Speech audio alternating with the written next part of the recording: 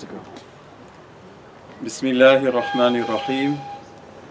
Wa sallallahu ala Sayyidina Muhammadin wa ala alihi wa sahbihi wa sallam. This is the fourth class of this series, What is Sufism? And tonight I want to talk about the historical development of Sufism with particular focus on the rise of the Sufi order, of the tariqah. So this is what I'd like to talk about. One of the things that the Sufis say is as-Sufi ibn waqtihi. The Sufi is the son of his time. and this expression has many different meanings. In fact, perhaps the most basic meaning of it is that the Sufi lives in the present moment. He lives in the present, not in a past that has disappeared and not in an illusory future. And that also in his or her present moment, whatever state that God has put them in, they seek to fulfill that state in the fullest way, to understand it, to understand God's wisdom in it, and to benefit from it in the fullest. Whether that state is one of bast, in which you have expansion and lightness and joy, or whether it's one of qab, of contraction, when you have heaviness and difficulty, whatever it might be. So the waqt also is the hal. But this expression means more than that too.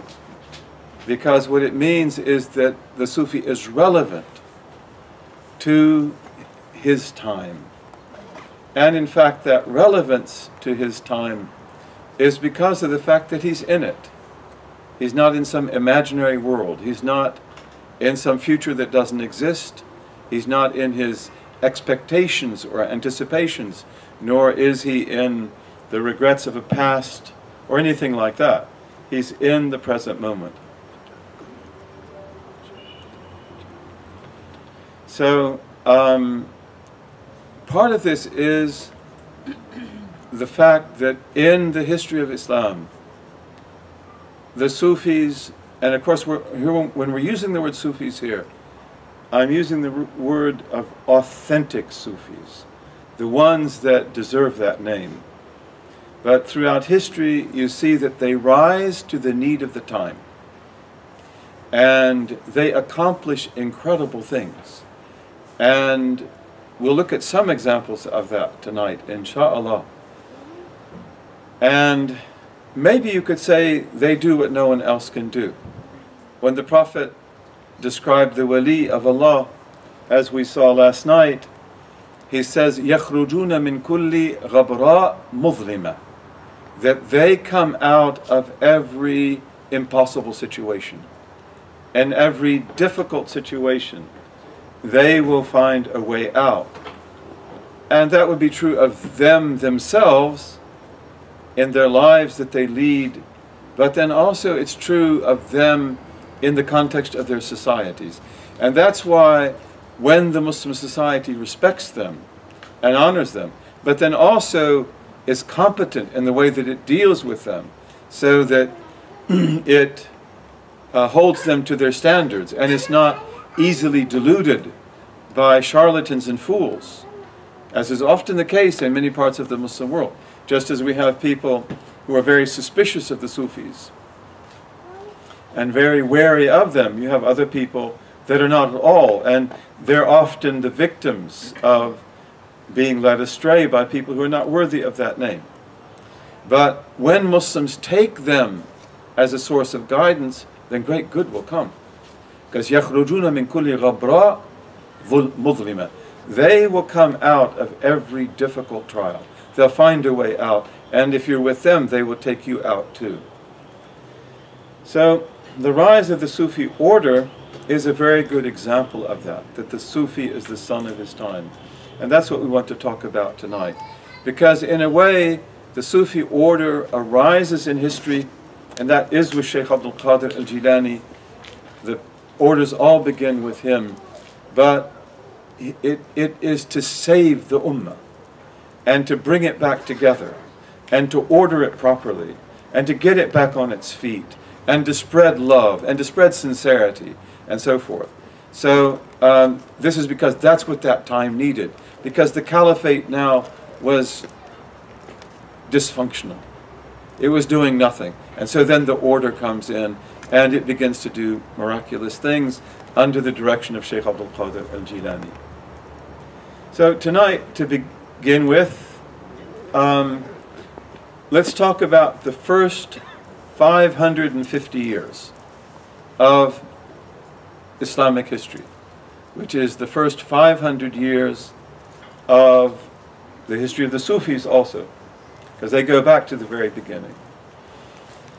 And um, I want to preface that by talking about three words Sharia, Tariqah, and Haqiqah. Sharia is the prophetic law and all of its massive greatness, all of its profundity, all of its depth. And tariqah, well, let's say haqiqah first. Haqiqah is a word that we've used many times now, and you knew it anyway. You've used it before. But the haqiqah is the ultimate truth of things, the ultimate realities of things, as God knows them to be. The first principles of creation. Okay, this is what we call haqiqah. And then we have the word tariqah. So we have sharia, we have tariqah, and we have haqiqah. Now, these words were used from very early on maybe from the beginning. I don't know. I'm not able to say. But what's very important is that the word tariqah didn't mean Sufi order. In the early period, and after that also, the basic meaning of tariqah is path. It's a way. And what kind of a way is it? It is a path that is designed to take you from Sharia to Haqiqah and from Haqiqah to Sharia. It is the isthmus. Did I say that right? Isthmus. That's a very hard word to say in English. I shouldn't have any trouble with it. But it is the Hamzat al Wasl. It is the link between Sharia and Haqiqah. It's the lifeline between Sharia and Haqiqah. It's what enables you to go from the one to the other. And therefore, the tariqah is always methodology. It involves a particular way of worship, a particular way of behavior. And the tariqah can be many different types. In fact, it's going to be many different types because of the fact that the tariqah is designed to take you from sharia to haqiqah, but then who are you? And what are you? And where do you live? And what is your situation? And what is your problem, if you have one? So the tariqah will be designed for you. And for that reason, it's also said that there are as many tariqas. Let me write this down. You, you, let's give you a respite. That is, there are breaths. So they say there are as many tariqas as there are breaths. And they don't mean by that Sufi orders. but what they mean by that is that um, as there are different breaths, then the methodology is as different as that because although we have common methodologies that are beneficial to us all, maybe the way we apply it to you is not the way we apply it to her or to him or to others. But here the word tariqah is referring to the methodology, the particular approach that will be taken, a particular dhikr that might be done, a particular uh, stance on fasting maybe every Monday and Thursday, or even more than that, or less than that, or whatever. Okay, so that's originally what tariqah means. It doesn't have anything whatsoever to do with uh, the order, the Sufi order. And that's the way it will be for the first 550 years, roughly speaking, until the time of Sheikh Abdul Qadir al Jilani. So the Sufis have many turuq. And of course, even when we talk about Sufi orders, they have a number of them. And those orders have a number of varieties within them also. And often those varieties are due to different times, different places, different challenges, different ethnic groups, different languages, and different backgrounds and all sorts of things. Okay, the haqiqah is one. And of course the sharia is one too, except that in the sharia we will have different madhabs. And the madhab itself is actually a methodology. It's a way of proceeding, a way of going. And Imam Abu Hanifa has a unique methodology. Part of it, for example, is ta'mimul adilla, the generalization of legal proofs. And then he has the great student Abu Yusuf. And Abu Yusuf is almost the same, but not quite. And then you have Muhammad ibn al-Hasan al-Shaybani, and he's very similar but not so, not exactly the same. So you have differences even there in the Hanafi school. But they have a particular approach to the understanding of Sharia. Imam al-Shafi'i, Allah be pleased with him, also has a methodology, which he spells out very carefully for reading the law and applying the law. Imam Malik and the people of Medina, they have a different approach. Imam Ahmed ibn Hanbal has even a different approach from that. So they have different approaches. The Sharia is one and vast, but there are different schools. But the Sufis say we have one madhab. They have many turuq. They have many approaches to that madhab. And they have different methodologies. But the basic truths are all the same. And um, they also are proud of the fact and they state that no one else can boast of that. That they have consensus on their basic principles, the basic truths, on the haqa'iq. And again, if we wanted to go into that in some detail, we could see that no, they do differ on certain things. For example, we said yesterday that Ibn Arabi believed that the abdal, the substitutes, who are very special saints, can also be women. And they didn't all agree to that. What is, is what is. I don't know what it is. But so they do have differences on points like that. But they don't have substantial differences, you know, on the haqa'iq. And, and they're all saying the same thing. And if you go through the literature of the Sufis, it's really remarkable.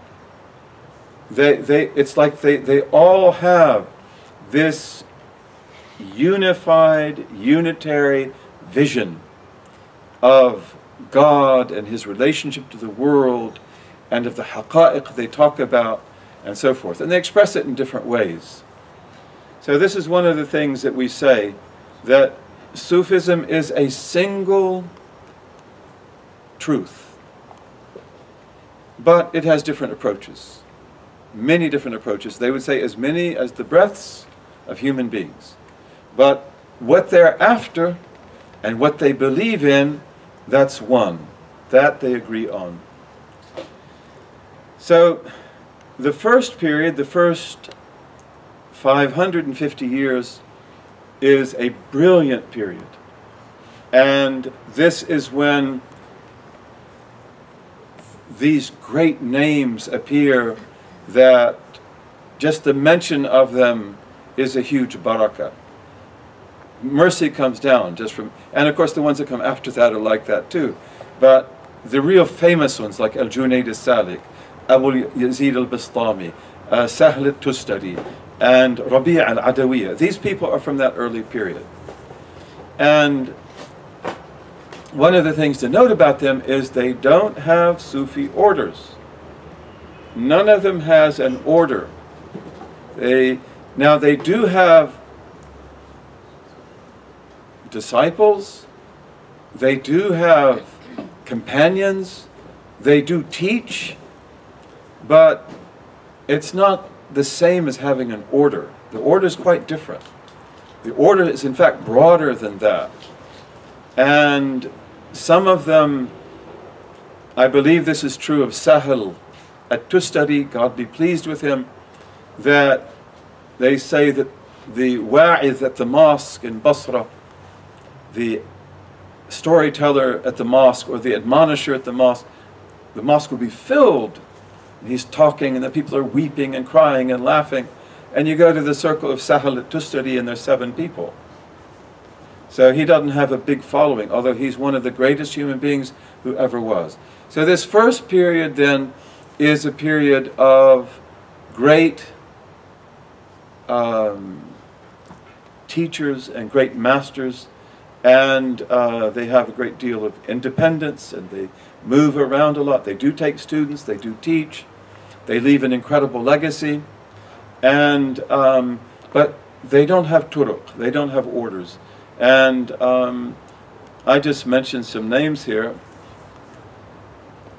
Since there's a lot of baraka in mentioning them, I might go through them. But and these are very few actually. But in the first, in the second century, for example, you have Al Hasan al Basri. So this man is absolutely amazing, and the legacy that he leaves to us, uh, only God knows the richness of it and the benefit that it's brought. And so he belongs to that period, the earliest part of it. In fact, he's one of the first voices. Ma'ruf al-Karkhi, that we talked about before. Ibrahim al-Adham, Ibrahim ibn Adham. Rabi al-Adawiyya, Al-Fudayl ibn Iyad, Abu Yazid al-Bistami, Sahel al-Tustari. Um, now, uh, these are people in that first century, second century, now we've gone into third, just giving some names. Now, with Sahel, you have uh, writing about Sufism. Not that he's the first to do that, but among these he is. So none of these will write books, at least not to our knowledge. But Sahel ibn Abdullah at-Tustari, he writes a tafsir. In that tafsir, he transmits from Ja'far al-Sadiq and from others. And his tafsir is a beautiful tafsir, but it's also a Sufi tafsir. So you have the writing, and then he has also works on wilaya, on sainthood. So this is also a period when writing about Sufism appears. And many of the great classical works will be written in this first 550 years, especially works that will define for us what is Sufism, what is wilaya, what is the path like, things like that. And then uh, right after Sahel, uh, very soon, you know, comes, and he's of the same generation, is the Imam. So you have all this activity, all of this great work and production, and then you have Al-Imam Abu al-Qasim al-Junayd ibn Muhammad al-Sadiq. So he is the Imam of the Sufis.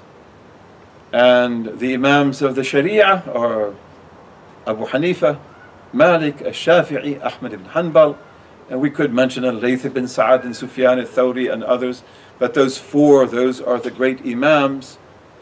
And then in Aqidah you have al-Ash'ari, you have al-Maturidi, and you also have the Athari school, which is before them, and after them as well. And so you have different Imams in the Sharia and in the Aqidah, but in uh, Sufism you have one Imam, al-Junayd al-Salik. There's no one that competes with him in that. He is regarded as the authority. And again, as Al-Haddad, who was one of his great contemporaries, there are many Haddads in Islamic history, Al-Imam Al-Haddad, but he comes much later. But Al-Haddad said that if intellect, Al-Aql, which as you heard yesterday, is the essence of rujula and muru'a and futuwa. But if aql had a human face, it would look like Junaid. I mean, he was beautiful and he was brilliant beyond words. Absolutely. And, and his brilliance showed on him.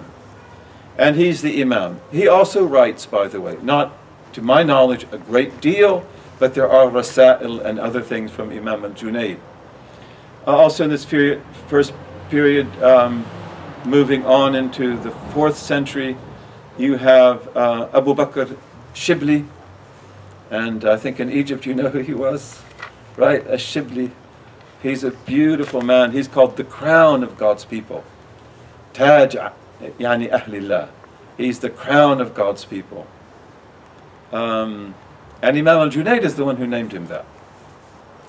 And um, there's the beautiful story of ash-Shibli, you know, that um, a Falaha, peasant woman, had a metaphysical question of the first order.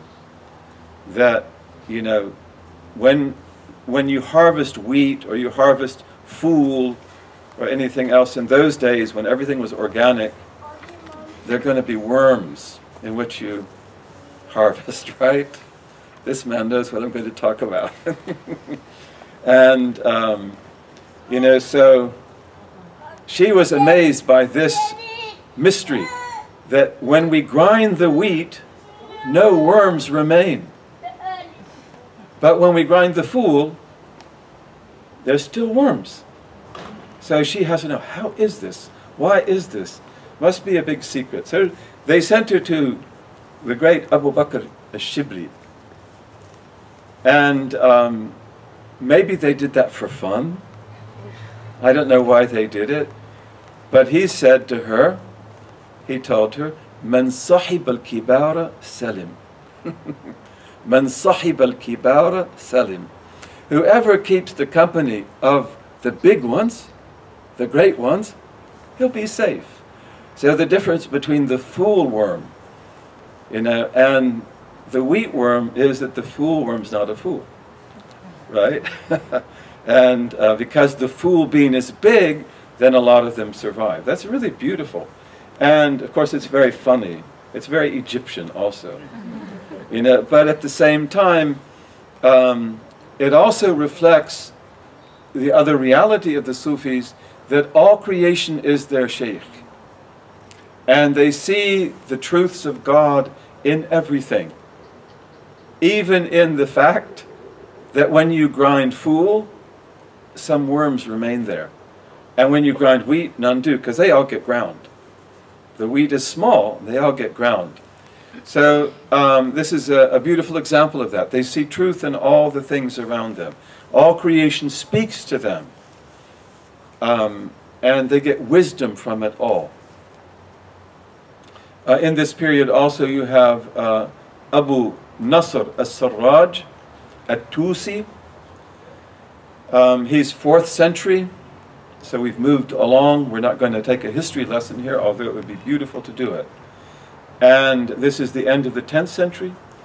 And Abu Nasr uh, as-Sarraj, um, you know, this is a man who writes uh, again, and a very important book, which is Kitab al-Luma' fit Tasawwuf.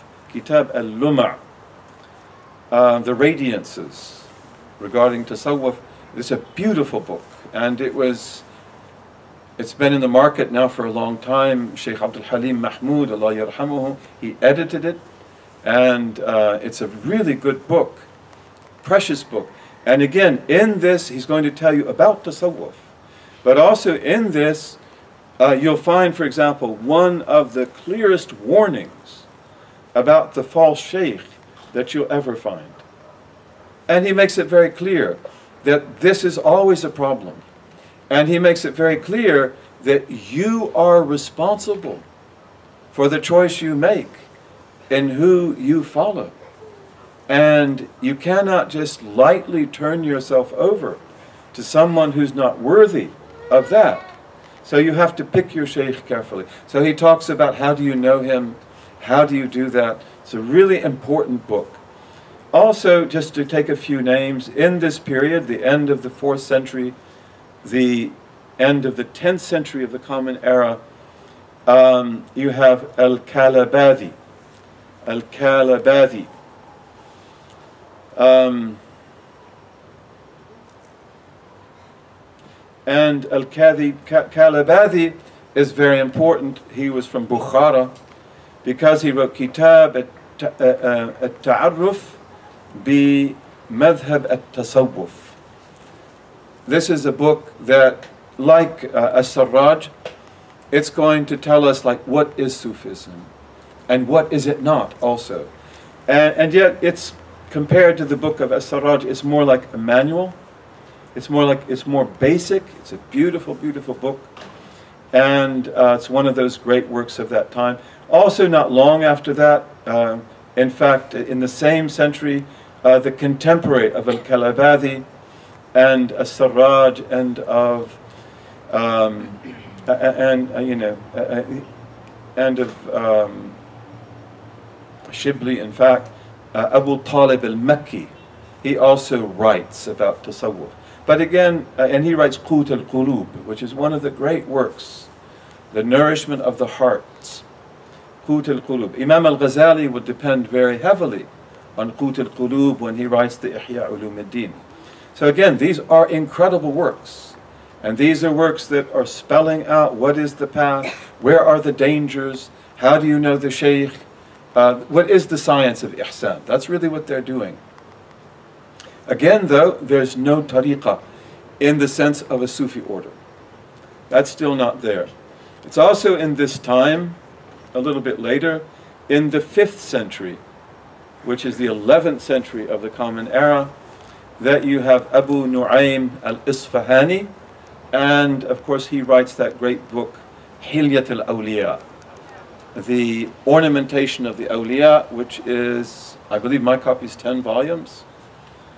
Is yours 10 volumes? but uh, it's a beautiful work. And in this, of course, he's writing about tasawwuf, but the main thing that he's doing now is a biographical dictionary, bringing together the stories of all these incredible men and women. And then also he uh, transmits lots of hadith. And the muhaddithin will use Hilyat al-Awliya as one of the sources of hadith. Um, he can be trusted in his transmission of the isnads. Of course, the isnad itself has to be checked.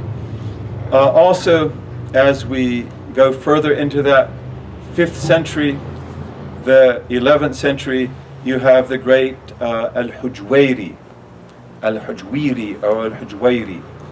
And uh, he's called in um, Urdu Data Ganj Bakhsh. So he is the great sheikh of the subcontinent.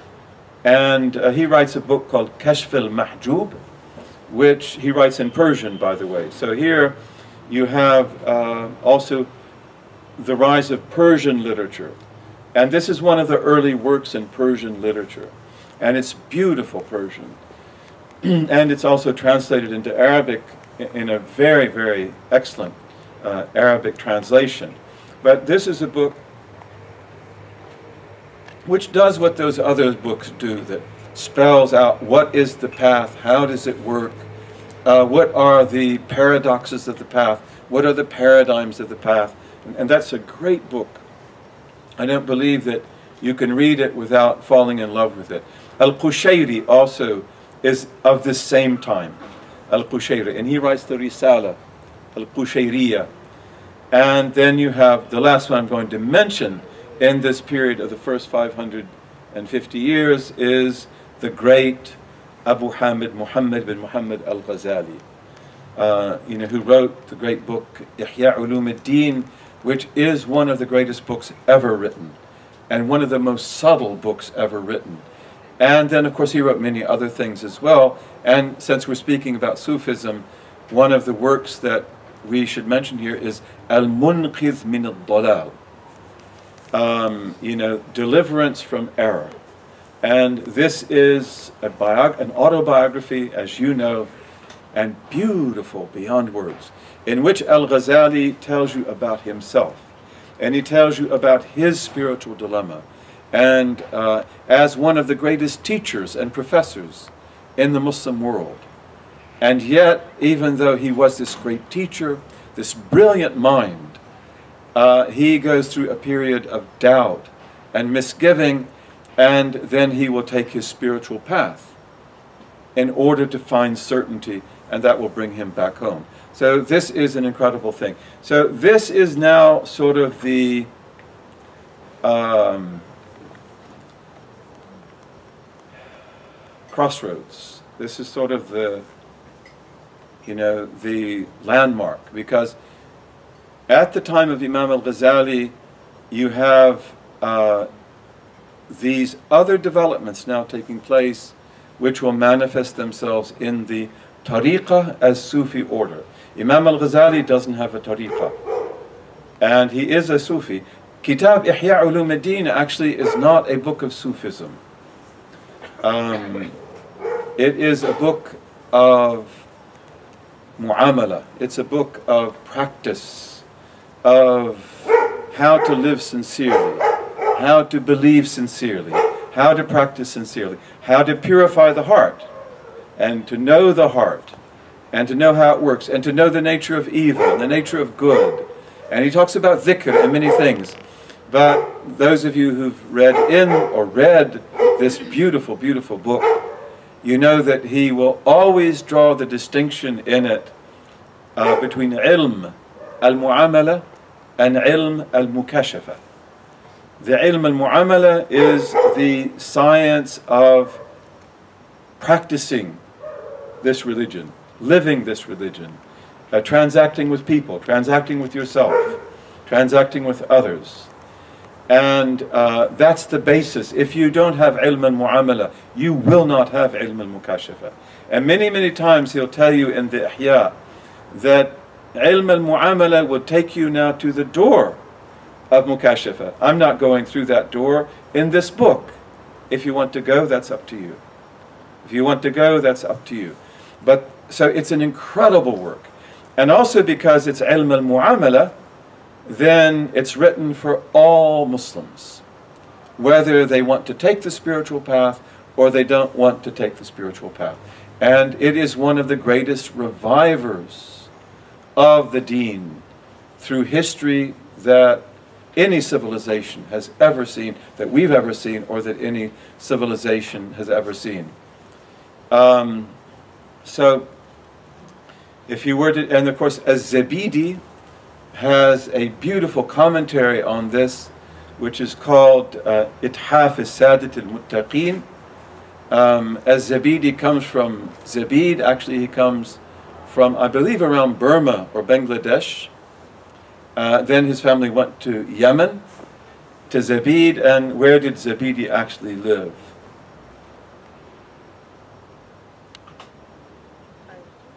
In Cairo? So he's your guy. He's your guy. He actually lived here, and he wrote here, and he was a contemporary of Al-Qutb al-Dardir. So they are right there together in the 18th century. And Zabidi is fantastic. I mean, he's one of these great scholars who like embraces the entire intellectual and spiritual history of Islam. And hadith, he's a muhaddith, and Quran.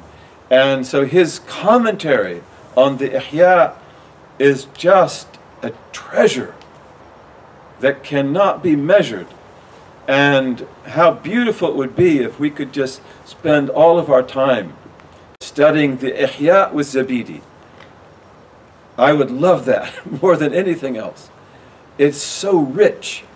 And one of the things about the Ihya is that people who read it once, they've got to read it twice. People who read it twice, they've got to read it three times.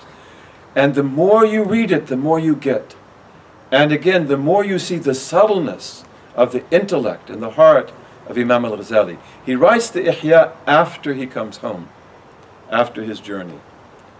Okay, so now with Imam al-Ghazali, um, we come to that generation of Sheikh Abdul Qadir al Jilani, because they are contemporaries.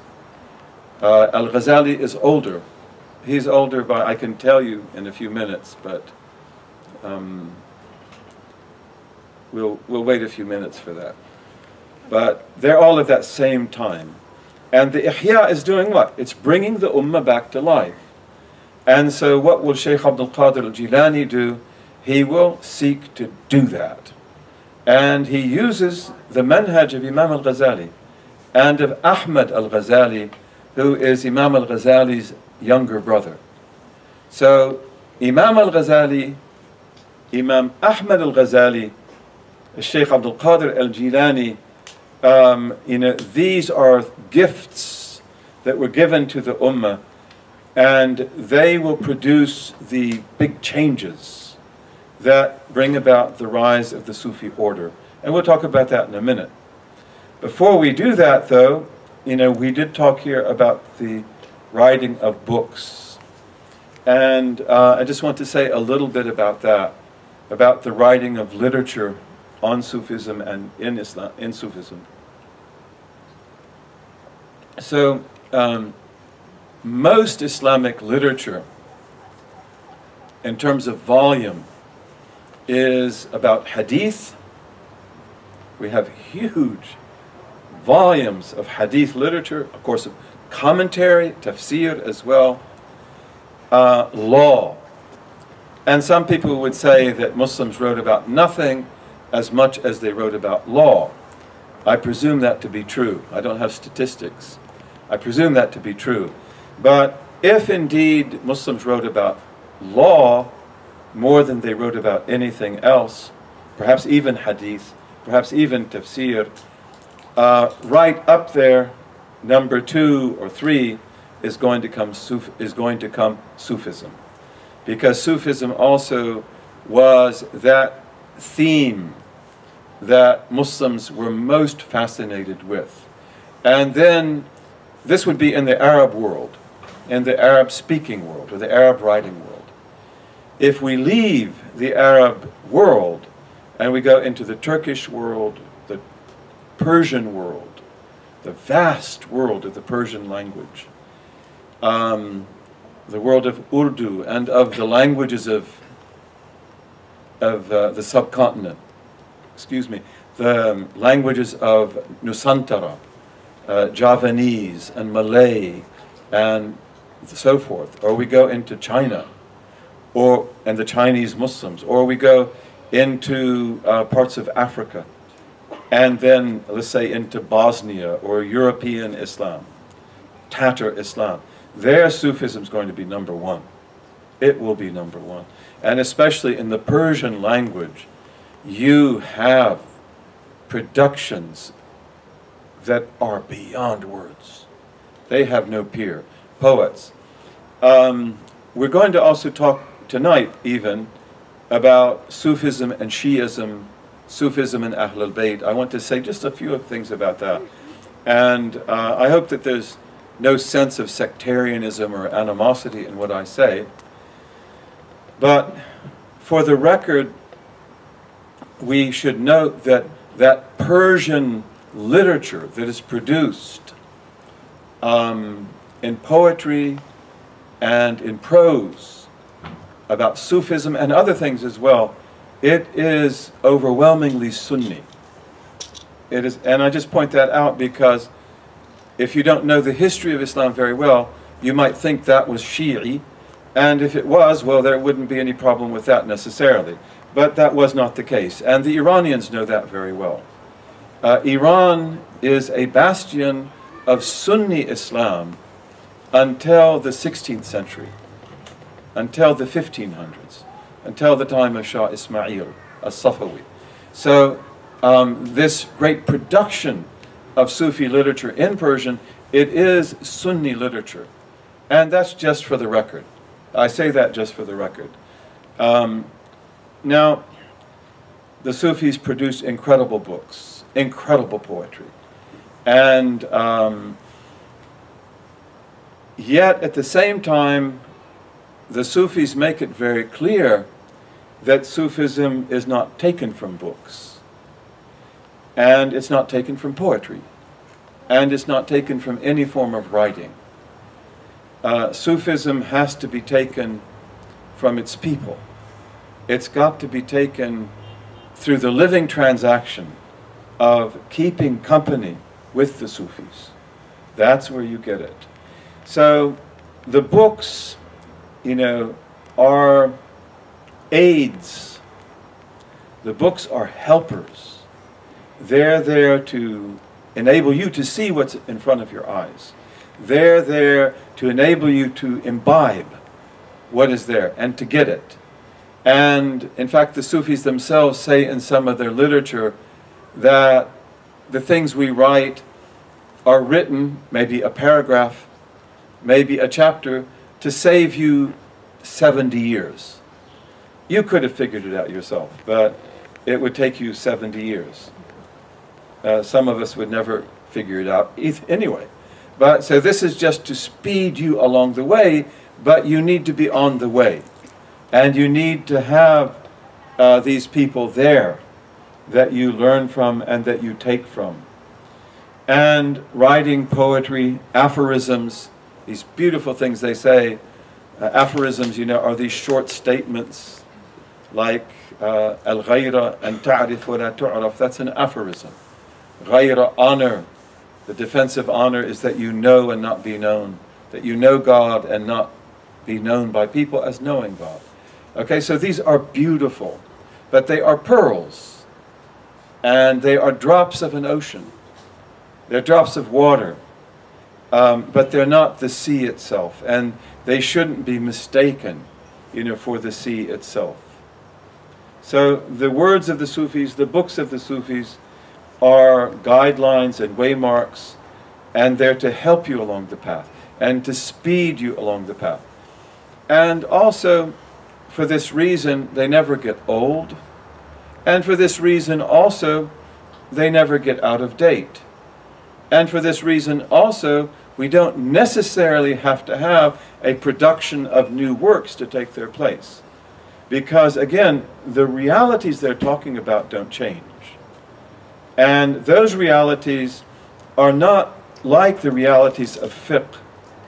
Of course, in fiqh, you have dawabit and thawabit and qawa'id and hudud. In fiqh, the application of Islamic law, fiqh applied Islamic law with wisdom. You have things that are fixed, hudud, limits that are set. You have thawabit and so forth. You know, but of course, fiqh has always got to be triangulating itself with the social, political, economic, cultural reality of the time it lives in. And this is one of the greatest obligations of the mujtahid. Um, of course, the Sufis do that too. As Sufi ibn Waqtihi, he is the son of his time. He's got to know his time. But the haqa'iq that give him life and the reality that he's imbibed, that doesn't change. That doesn't change. That stays the same. So therefore, you don't need a huge multiplicity of these books. And for that reason, a book like the Ihya, it will be beneficial for us until the end of time. No doubt, if you translate it, you know, then you have to sometimes explain to people the cultural context of it in the world of Imam al-Ghazali. But the realities it's talking about, those are for all times and places. So I say that uh, to emphasize what the Sufis believed, and that is that words that human beings speak or write or that they put into poetry, they are secondary. They are of secondary importance on the path. And they must not be mistaken for the path. And in fact, one of the definitions of the ignorant Sufi is the one who learned it from the books. That's one of the definitions, even of the false sheikh. Self-taught. Um, read the book, benefit from the book, but you've got to make that real by finding a master. And the master will turn that to gold and make that what it's supposed to be. So the Sufis emphasize that writings are important, they are blessed, but they are not essential to the path. And there are cases of people coming to a path and taking the hand of a real sheikh and maybe saying, What's my first assignment? What book do I read first? And they might say, Read the sheikh. You know, that's your first and last assignment. Read the Sheikh and try to understand him and understand what he's doing. We talk about al-fahmu anillah, understanding about God. Uh, al-fahmu anillah is that you try to understand how God works with you in your life. Whether the things in your life are good or bad, whether they're sweet or sour, whether they make you happy or sad, but understand what God is doing with you. That is a huge thing, and that is an ibadah. And that is a big accomplishment in wilayah. But also, just as we try to understand about God, we try to understand about the sheikh. Who is this man? You know, how does, how, you know, how is he, for example, if a question comes, how is he likely to answer this question? If a problem is presented, how is he likely to answer this? Why did he do that? Why did he do this thing? Why did he not allow me to do something? Why did he want me to do something else? Um, this is al-fahmu an awliya illa Understanding about the awliya. And this is also essential to the spiritual path. Because you need to understand, you need to witness that miracle that's taking place in their hearts. And you need to be able to relate to it, and then maybe you get it too. Maybe it comes into your heart too. So, um, writing is very important, but it's not essential, and it is secondary. Um, the Sufis say words remain on the shoreline. Words remain on the shoreline. Okay, that means that they're not boats. They're not the boats. Although Rumi says, words are ships, but meanings are oceans. Words are ships, but meanings are oceans. And um, so his words are little boats that take you out in that ocean, but they're not the ocean. The ocean is below them, and the little boat enables you to go out on it, and inshallah to imbibe that truth which is there. Mm. Rumi speaks, um, he said, Rumi says also, speaking about words and speaking about poems, what a beautiful poet he was. By the way, Rumi was a master of Persian poetry. And he'd mastered, he'd memorized all of these great, great poets who were before him. And he loved to recite poetry. But one of the things that his sheikh, Shams at-Tabrizi, did is to make him write and say, stop reciting other people's poetry, recite your own, because yours is second to nothing. And that was hard for Rumi to make that step. That was hard, but then finally he did. Before that, in anything he can recite to you from these great poets. And he knows the poetry, he loves the poetry, he can comment, he's a great scholar. But Shams, no, you do your poetry. You, and so out of this comes the poetry of Rumi, which uh, is in a class all of its own. Rumi says, though, you have seen the form, but remain unaware of the meaning. You've memorized the beautiful words, that's the form. But you're unaware of the meaning. If you are wise, he says, pick the pearl out of the shell and keep it. Dive down and get the pearl out of that shell and keep it for yourself. so the Sufis also say, um, okay, that, that's enough said about that. And let's see how we're doing with time. Disaster. Okay. Sorry? We're good? Thank you. Tonight we go to midnight. Right? Okay. Sorry, you're trapped. Um, okay, so then uh, now we come to after the first 550 years. Okay, this is the 6th century. It's almost 600 years of Islam. And uh, now we come again to this amazing generation of Imam al-Ghazali. He dies in um, 505 the early 6th century. That is in the Common Era, a date you'll never forget. 1111. Okay? 1111. That's his death date. Allah have mercy on him. And then you have his younger brother, Ahmad al Ghazali. And Ahmad al Ghazali, he dies in 1126. Um, and then you have the great Sheikh Abdul Qadir Jilani. Um, he will die in 1166. That's the year uh, 561. Uh, but Imam al uh, Sheikh Abdul Qadir Jilani, he will not begin to teach until two years after Imam al Ghazali dies. And about 10 years after the, uh, uh, uh 10 years after Imam al Ghazali dies, and about two years after Ahmad Ghazali dies. So, did he know them? Did he know them? Because he was hidden before that time. And they will pass before he begins to teach. But he did indeed know them. We know that he know that, knew them. One of the reasons is because um, Abdul Qahir as-Suhrawardi, who is one of the students of Sheikh Abdul Qadir Jilani, he's also a student of Ahmed al-Ghazali.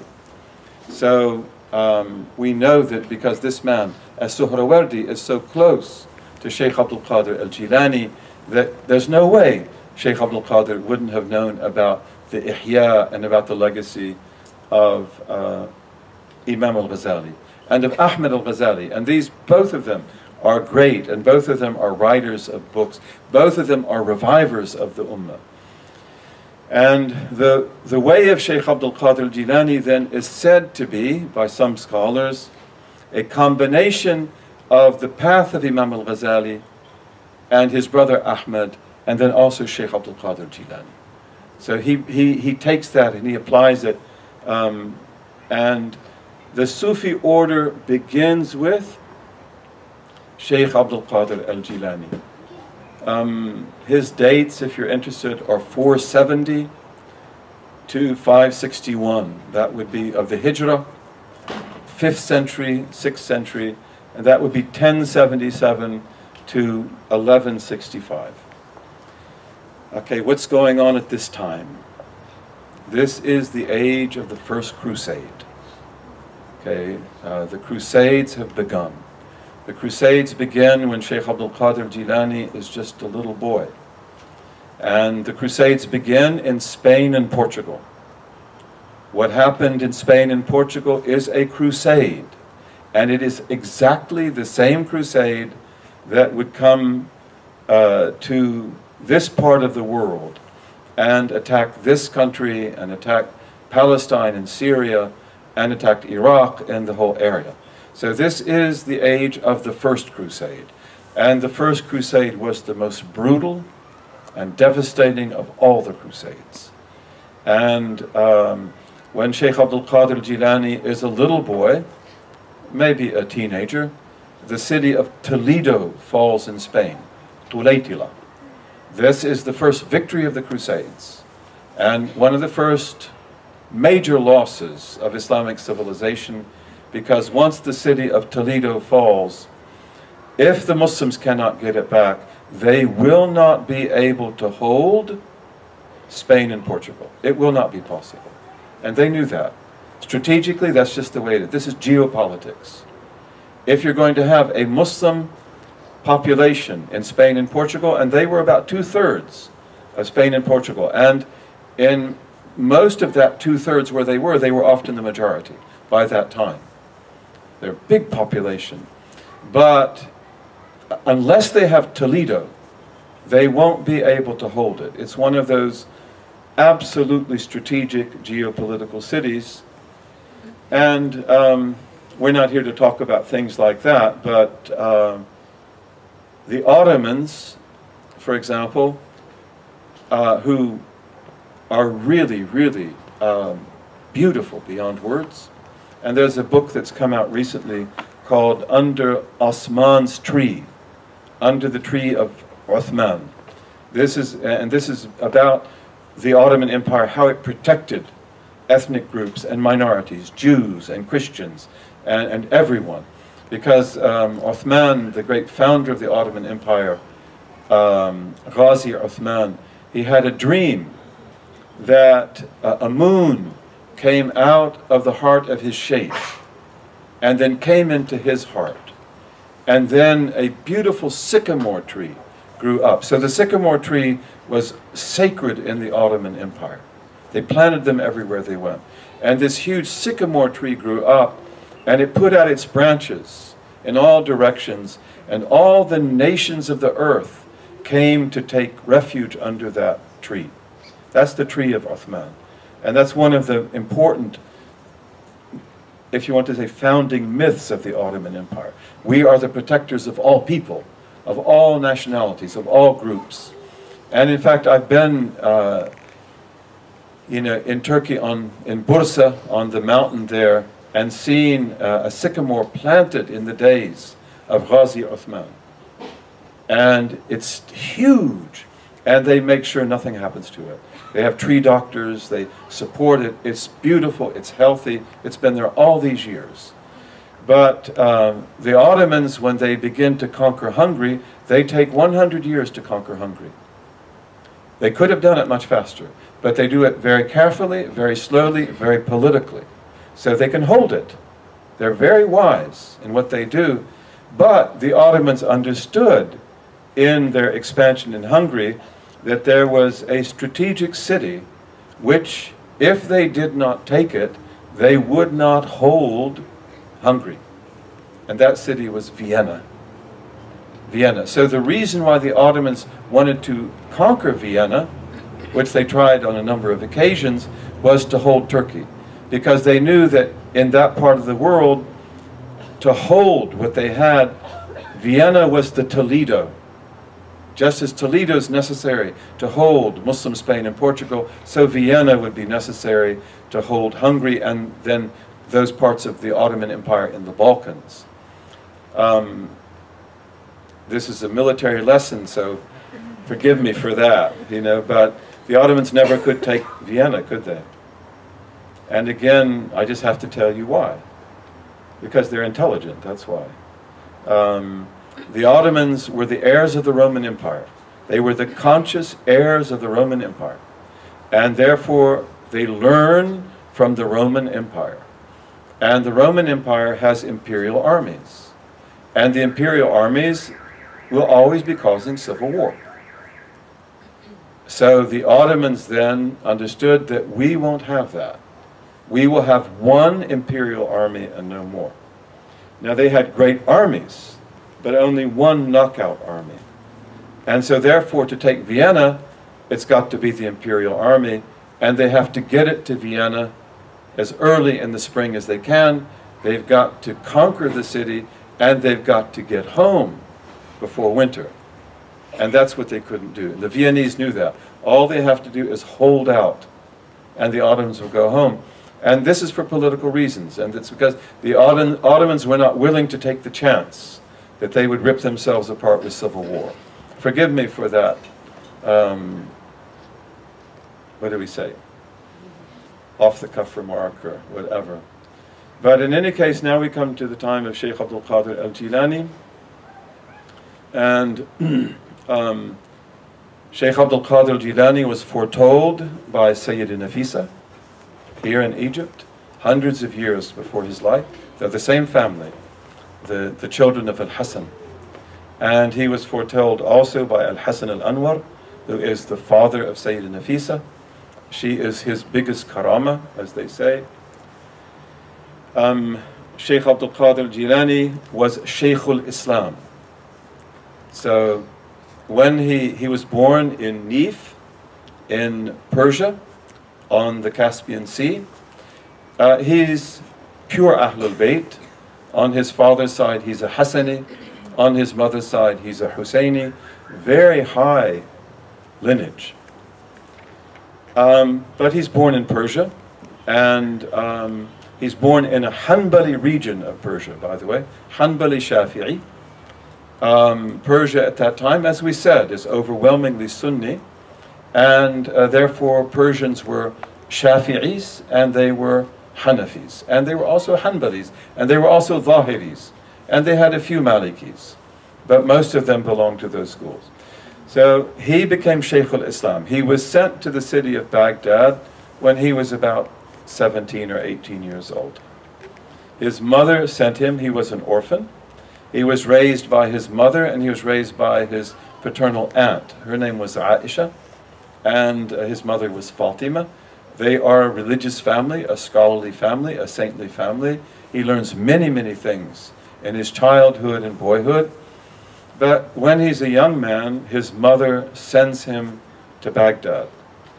And she tells him, You'll never come home again.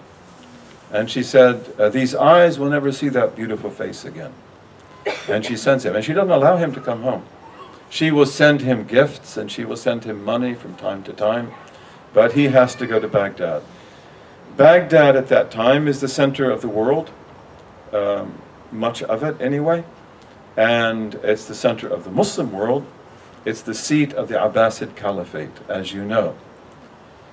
But um, it's also a city of immense corruption, immense corruption, and political instability and decay. And in fact, uh, one of the great Malikis of Baghdad, we have Malikis of Baghdad and Malikis of Egypt, of course, who were the dominant ones in the school, and of the West, of Tunisia and of Spain and of Morocco. But uh, Al-Qadi Abdul Wahhab was one of the great Malikis of Baghdad, and one of the last ones. And he said around this time, Baghdadun دار لأهل المال طيبة وللمفاليس دار الضنك والضيق ظللت حيران أمشي في أزقتها كأني مصحف في بيت زنديق So he said, as you know, almost all of you, Baghdad is, um, you know, a beautiful place to be if you're rich. If you have money, you know, it's, it's a beautiful place to be. But if you have nothing, Darul Banki wa Diqi, it's, it's a place of great uh, difficulty and hardship. I remained wandering around in its alleyways in a state of confusion, as if I were a copy of the Quran in a hypocrite's house. So Baghdad was in a horrible state. And it wasn't safe. There were robbers, there were gangs, and there was all kinds of corruption going on. Um, so this is where he'll be sent to. His mother said, and he didn't like Baghdad. He didn't want to go there. He wanted to leave, but this is where your work will be done. He goes there as a teenager in his late teens, and he will study for the next almost 40 years. And he's not known during that time. People will know him personally, but he's not a public figure at all. All this time is a time just of careful study. He masters uh, all the Islamic sciences Arabic, the Quran, the recitations of the Quran, tafsir, hadith. Uh, he becomes a faqih and a mujtahid and a mufti in the Hanbali school and in the Shafi'i school. And he gave very good fatwas. And all these outward sciences, ilm al-khilaf and so forth, he masters them all. And so he was called Shaykhul Islam. And he was acknowledged by the scholars of his time as the greatest of them all. In fact, they often would not just praise the greatness of his fatwas, but the speed with which he gave them. He was extremely intelligent and extremely gifted. So he's Shaykhul Islam. But during these years, when he was known as a mutafaqqih, um, he also um, takes the Sufi path and he has his sheikhs. And among the most important of his sheikhs is Ad-Dabbas, who was a Syrian refugee from the Crusades. And uh, Ad-Dabbas was a very tough sheikh. Uh, there's stories about him, and I won't talk about them very long because we want to make some headway. But um, Ad-Dabbas would treat him very roughly in the beginning. And the murids around Ad-Dabbas uh, the students of Ad-Dabbas, perhaps I should say, in a, they would uh, call him Ya Faqih, O faqih, because that's what he is, he's studying law. And they say that uh, one cold day, and Baghdad was very often on the verge of starvation, by the way, so they didn't have much food.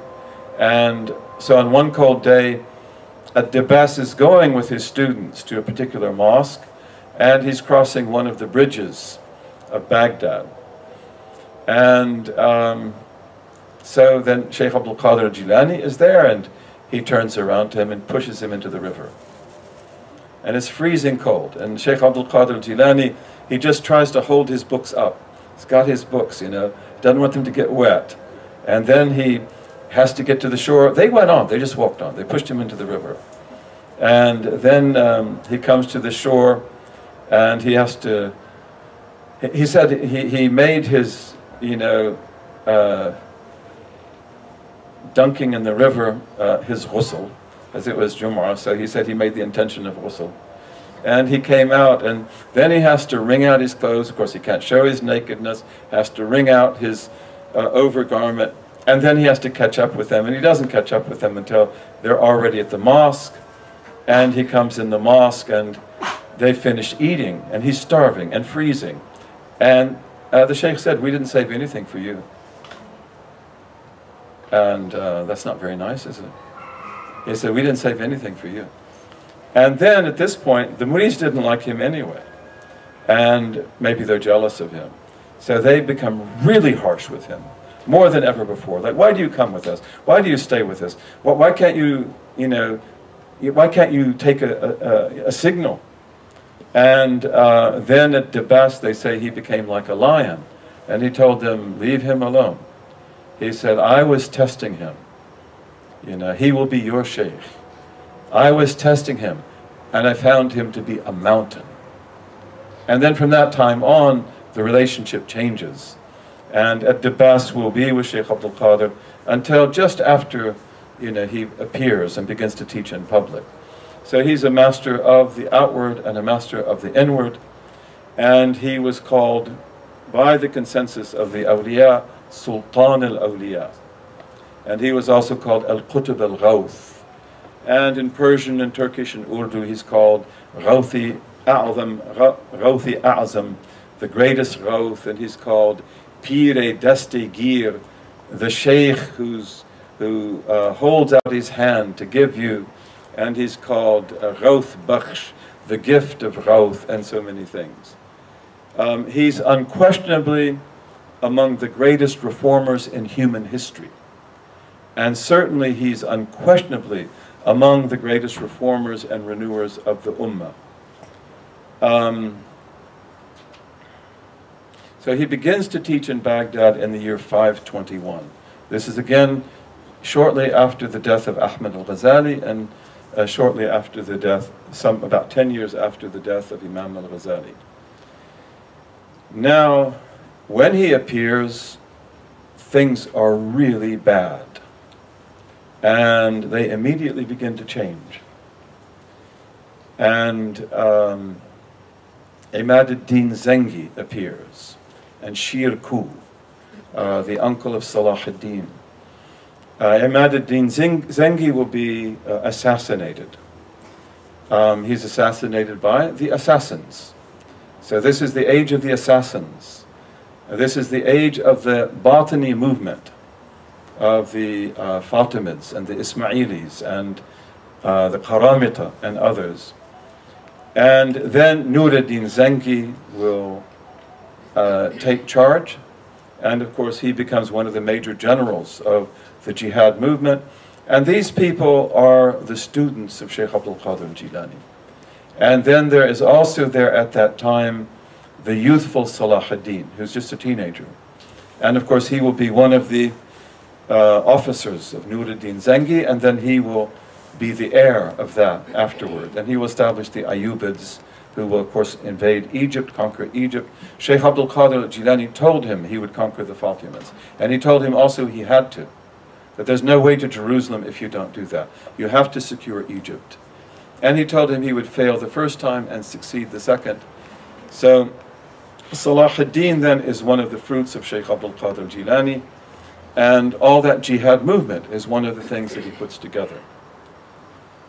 Um, um, at this time now, the Sufi order is created. And the creator of that is Sheikh Abdul Qadir Jilani.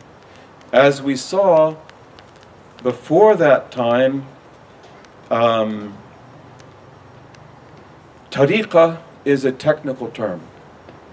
And we've talked about what it means. It's just the methodology that you use on the spiritual path to move from sharia to haqiqah or from haqiqah back to sharia. It's the middle, it's that middle link between those two. But now the word tariqah is going to take on another meaning, which is that of Sufi order, and that's because of the fact that Sheikh Abdul Qadir will make that make a particular methodology that he uses of the spiritual path common to a large group of people who will have allegiance to him. And here Sheikh Abdul Qadir Jilani introduces the bay'ah. Uh, we believe as Qadiris that he was given authorization to do that. And we believe as Qadiris that the bay'ah that Shaykh Abdul Qadir Jilani was given was, how would we say this? A shadow or a link to Bay'atul Ridwan, to the oath of God's pleasure that the companions, men and women, gave to the Prophet before the armistice of Al-Hudaybiyah. And of course that bay'ah then will be the bay'ah given to Abu Bakr, radiallahu anhu, and to Umar, and to Uthman, and to Ali, and then to Shaykh Abdul Qadir Jilani's grandfather, Al-Hasan, Imam Al-Hasan. He has that bay'ah. Of course, as you know, Imam Al-Hasan will give it up in order to save the lives of the Muslims, and then the bay'ah will go to Muawiyah and the Muslims will be unified under Muawiyah radiallahu anhum jami'an. In any case, uh, Shaykh Abdul Qadir now uses this bay'ah and it is an oath of allegiance. Except that it is not meant and it will not be used politically. So he's not going to use it to claim the palace He's not going to use it to order the police or to have his armies. But he will use it to organize his murids so they become attached to him in a way that is a little bit different from the way that the sheikh and murid had been attached before that, before you have the order. Now this becomes a social movement. It becomes um, a cultural movement it becomes a jihad movement in the case of Sheikh Abdul Qadir Jilani. Because the Qadiris, they will be a fundamental part of the army of Salah ad-Din you know, and of that whole jihad movement. And this is very important. Um, it's said that the rise of the orders was in response to the Batini movements. This is what some scholars have said. Um, probably there's truth in that because the Batini movement was also like an order. In fact, you have the Order of the Assassins. And the Batini movement was extremely well organized, uh, based, of course, among the Fatimids in Azhar, in Cairo, and very difficult to compete with. So this is one of the reasons for the establishment of the order, that it can deal with the Batinis on their own terms and it can face them wherever they are. Again, the Sufi is the son of his time. So you have a big challenge in front of you, and what are you going to do about it? The political state's totally dysfunctional. It's not able to do that. And then the order is also in response to the decline of the caliphate. Because the caliph now is nothing but a name.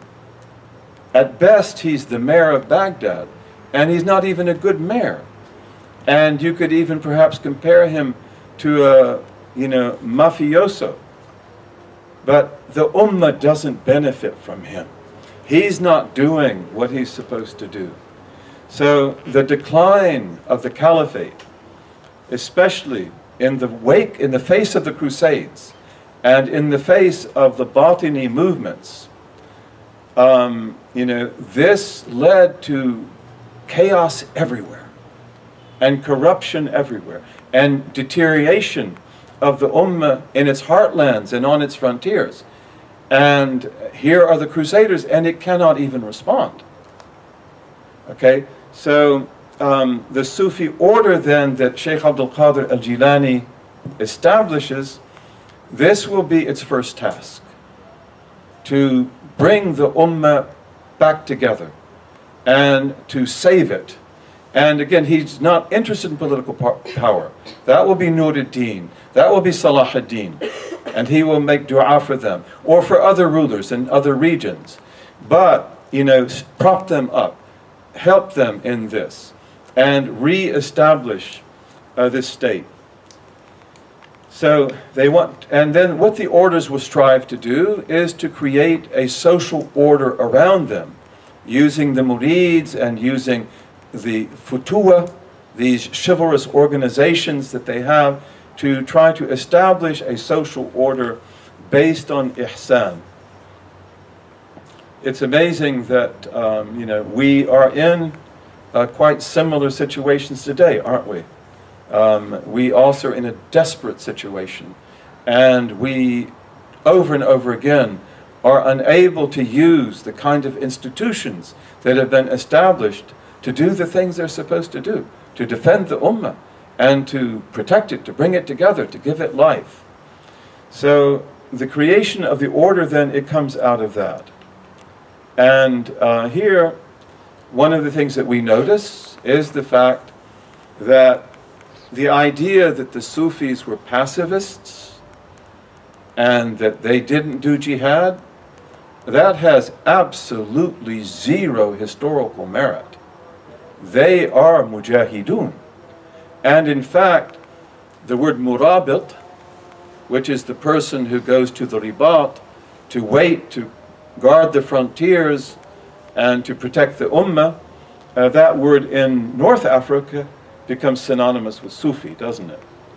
Okay, so they are people of jihad. And we mentioned uh, in the first lesson you know, the uh, story of Muhammad ibn Wasi' uh, who fought under Qutayba ibn Muslim, and he belonged to the first century of Islam. He died at the end of the first century. Uh, as you remember, uh, he's one of the first people to be called Sufi, and that's because he wore wool. But um, he fought under Qutayba ibn Muslim in the conquest of Central Asia. He was a judge also, so he's very knowledgeable of the law. But Qutayba said of him, the finger of Muhammad bin Wasi' pointing upwards towards heaven in battle is more dear to me than 100,000 renowned swords in the hands of 100,000 uh, strong young men, uh, you know, fitya. So uh, the Sufis always had this relationship with jihad and they were always regarded to be, as in the case of Muhammad ibn Wasi', the key to victory, the key to success, the key to peace, bi'ithnillahi ta'ala. We see that throughout Islamic history. Uh, now, the Sufi orders, they will often be involved in jihad. And Sheikh Abdul Qadir's is a good example of that. And um, we can give other examples. Uh, the great Qadiri Sheikh of West Africa, Othman Danfodio. So Othman Danfodio lives in the 18th century, dies in the 19th. He is a Qadiri, a very, uh, in, in, a very sincere follower of Sheikh Abdul Qadir Jilani, but his jihad movement does wonders in West Africa. And you know, it's also one of the things that's able to keep the colonial powers out for a relatively long time. In the end, it won't be able to do that, but it's also able to lay down the foundations of what will become modern Nigeria. And we have also the Sanusi movement of Muhammad ibn Ali as-Sanusi, who um, belongs roughly to the same time, although he's a little bit later than Sheikh Othman Danfodio. And the Sanusi movement will not only be strong in Libya, but in Central Africa in East Africa, in various parts of North Africa, even into Chad, even into the areas where Othman dan Fodio is. So we just want to make that point that um, one of the fallacies which is often spread about the Sufis is that they were pacifists. That's not true. Uh, these are people who um, were very much involved in the jihad movements and in the armies of the Muslim world. So Shaykh Abdul Qadir al-Jilani then, um, he establishes his order. His order then is the first in Islamic history. And we believe that all other orders are connected to him. Uh, that's very clear in the case of most of them. In some it might not be quite so uh, clear, at least not to me, given my ignorance. But immediately out of the order of Sheikh Abdul Qadir Jilani will come two other orders. One is the Kasnazaniya, the Kasnazaniya, from Al Kasnazani. Al Kasnazani was a Kurd, and he was um, one of the students of Sheikh Abdul Qadir Jilani. It may be that his order is the first to come out of the Qadiri path. I don't know for sure, but his is very important. Uh, it's to this day very strong among the Kurds. They often call it the Kasnazaniya Qadiriya. And then also you have the Suhrawardi, uh, the Suhrawardi path, which goes back to Abu Najib Abdul Qadir, Abdul Qahir as-Suhrawardi. Uh, there are three Suhrawardis. Uh, this is the first of them to, of the famous ones to appear. And uh, he is the author of the book called Adab al-Muridin. Adab al-Muridin, which is one of the great sources for Adab al-Murid, the, the Adab of the Murid. Um, As-Suhrawardi is a contemporary of Abdul Qadir, uh, so is Al-Kasnazani, and so his tariqah also comes from that same time. It also was called a tariqah As-Suhrawardiya Al-Qadiriyya Al-Qadiriyya As-Suhrawardiya. Um, now, also at this time, as a contemporary of Shaykh Abdul Qadir Jilani, uh, you have Ahmed al Rifa'i. And the Rifa'is uh, appear as a result of this. This is also the time of Abu Madin al Ghawth. Abu Madin al Ghawth is in Algeria, and uh, he will take bay'ah from Shaykh Abdul Qadir al Jilani. And uh, then um, he transmits to a number of people. But among those that he transmits to is Al Faqih al Muqaddam, who is Muhammad ibn Ali Ba'alawi. And this, uh, he's of that same time, the 7th century, the 13th century. And so the Ba'alawi tariqah, uh, it also comes out of that same, it's, it's that same rough period. It's a little bit later, also connected to Shaykh Abdul Qadir Jilani. Uh, the Shaykh of Abdul Salam ibn Mashish is Abu Madin al-Ghawth. So he takes from him, taking from Shaykh Abdul Qadir al-Jilani, and from him, of course, the great Imam Abu al-Hasan al-Shadhili, and the Shadhili tariqah. And then we have Mu'inuddin Chishti. Um, he and Shaykh Abdul Qadir Jilani are actually very close in their lineages, and he also will take from that same line, um, I believe from one of the sons of Shaykh Abdul Qadir Jilani. Um, this is also roughly the period of Ibn Arabi, Muhyiddin. Ibn Arabi, uh, Ibn Arabi called himself uh, one of the karamat of Shaykh Abdul Qadir al Jilani. And he said that because his mother and father had been childless and they had grown very old and had no hopes of having a child. And his father went to Baghdad and he met Sheikh uh, Abdul Qadir al Jilani and he made a dua for him to have a son. And he went back home and his wife conceived. And they had Muhyiddin ibn Arabi. So he called himself, he said, I'm nothing but one of the karamat of Sheikh Abdul Qadir al Jilani. And Muhyiddin ibn Arabi will take the bay'ah from Abdul Razak, uh, the son of Sheikh Abdul Qadir al Jilani. This is also roughly the time of Jalaluddin Rumi, and you know he is also uh, he's also linked with Sheikh Abdul Qadir uh, as well. In any case, um, these orders then appear and um, they begin, you know, to um, have a powerful effect on the Islamic Ummah. And they are um, institutions that grow up in the absence of political power. That's really where they come from, and they're fundamentally linked to that. That this is the Sunni response, that the caliphate's not doing what it's supposed to do. So this becomes like a type of spiritual caliphate. And then it will do the work, it will do the job, but it won't seek political power. The orders will tend to work very well with political power when it is there.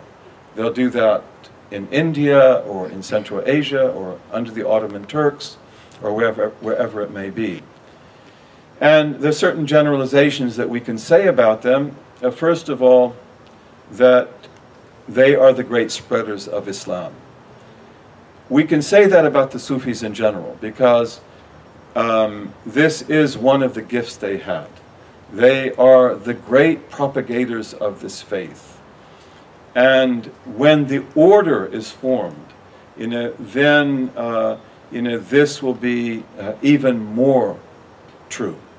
So the orders play a fundamental role in taking Islam to different parts of Central Asia, uh, to the uh, Nusantara, to the archipelago of Indonesia and Malaysia and the Philippines, to Cambodia, to Thailand, um, you know, to Africa, to Europe, and, and elsewhere. And they're extremely gifted at this and extremely good.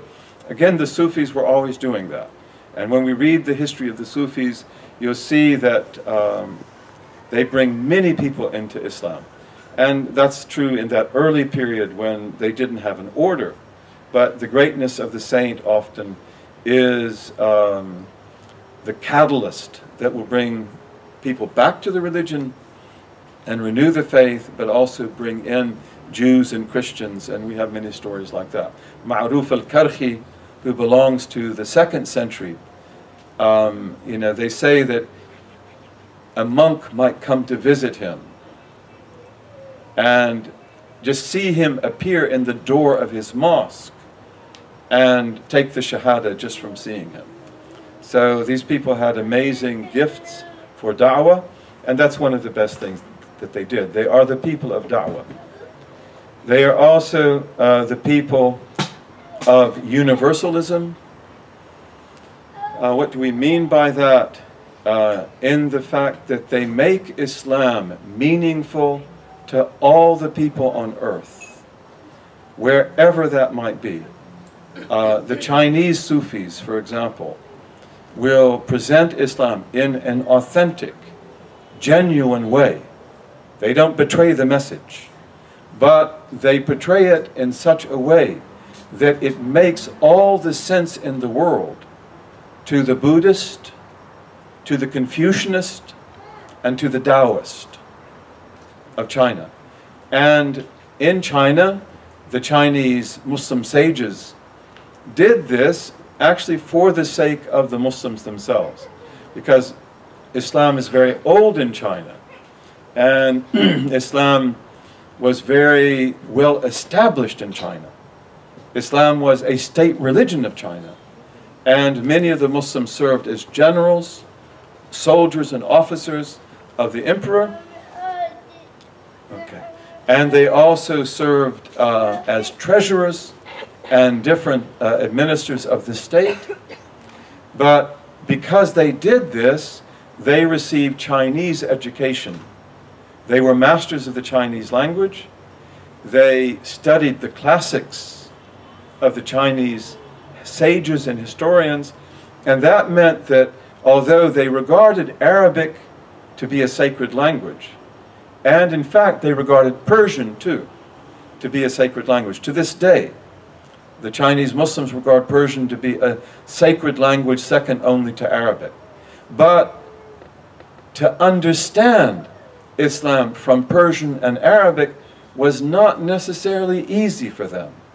Not because the languages are different, because they learned the languages, but because the world views of those languages are so different from the cognitive frames of Chinese and the Chinese language. And so, therefore, the great sages of China want to explain Islam to the Chinese Muslims in Chinese terms. And they do that brilliantly, absolutely brilliantly. But in doing that, they also create a rich literature that makes all the sense in the world to the Buddhist, to the Confucianists and to the Taoists. And so many of those come into Islam because of that work. But this is part of that universalism.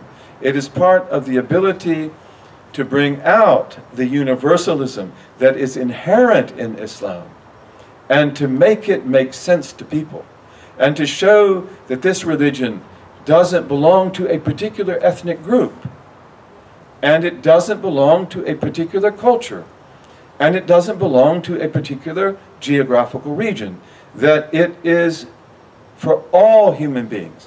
So they're very, very good at that. Also, they are great globalists.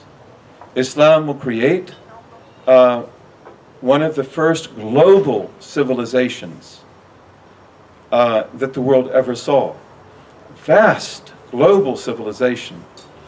Um, Ibn uh, Marco Polo will leave the city of Venice and he will travel to the east to see um, the greatness of China and the Muslim world. Okay? When he comes home in the 14th century to Venice, another traveler leaves his home in Morocco, and that's Ibn Battuta. Ibn Battuta will travel three times as far as Marco Polo.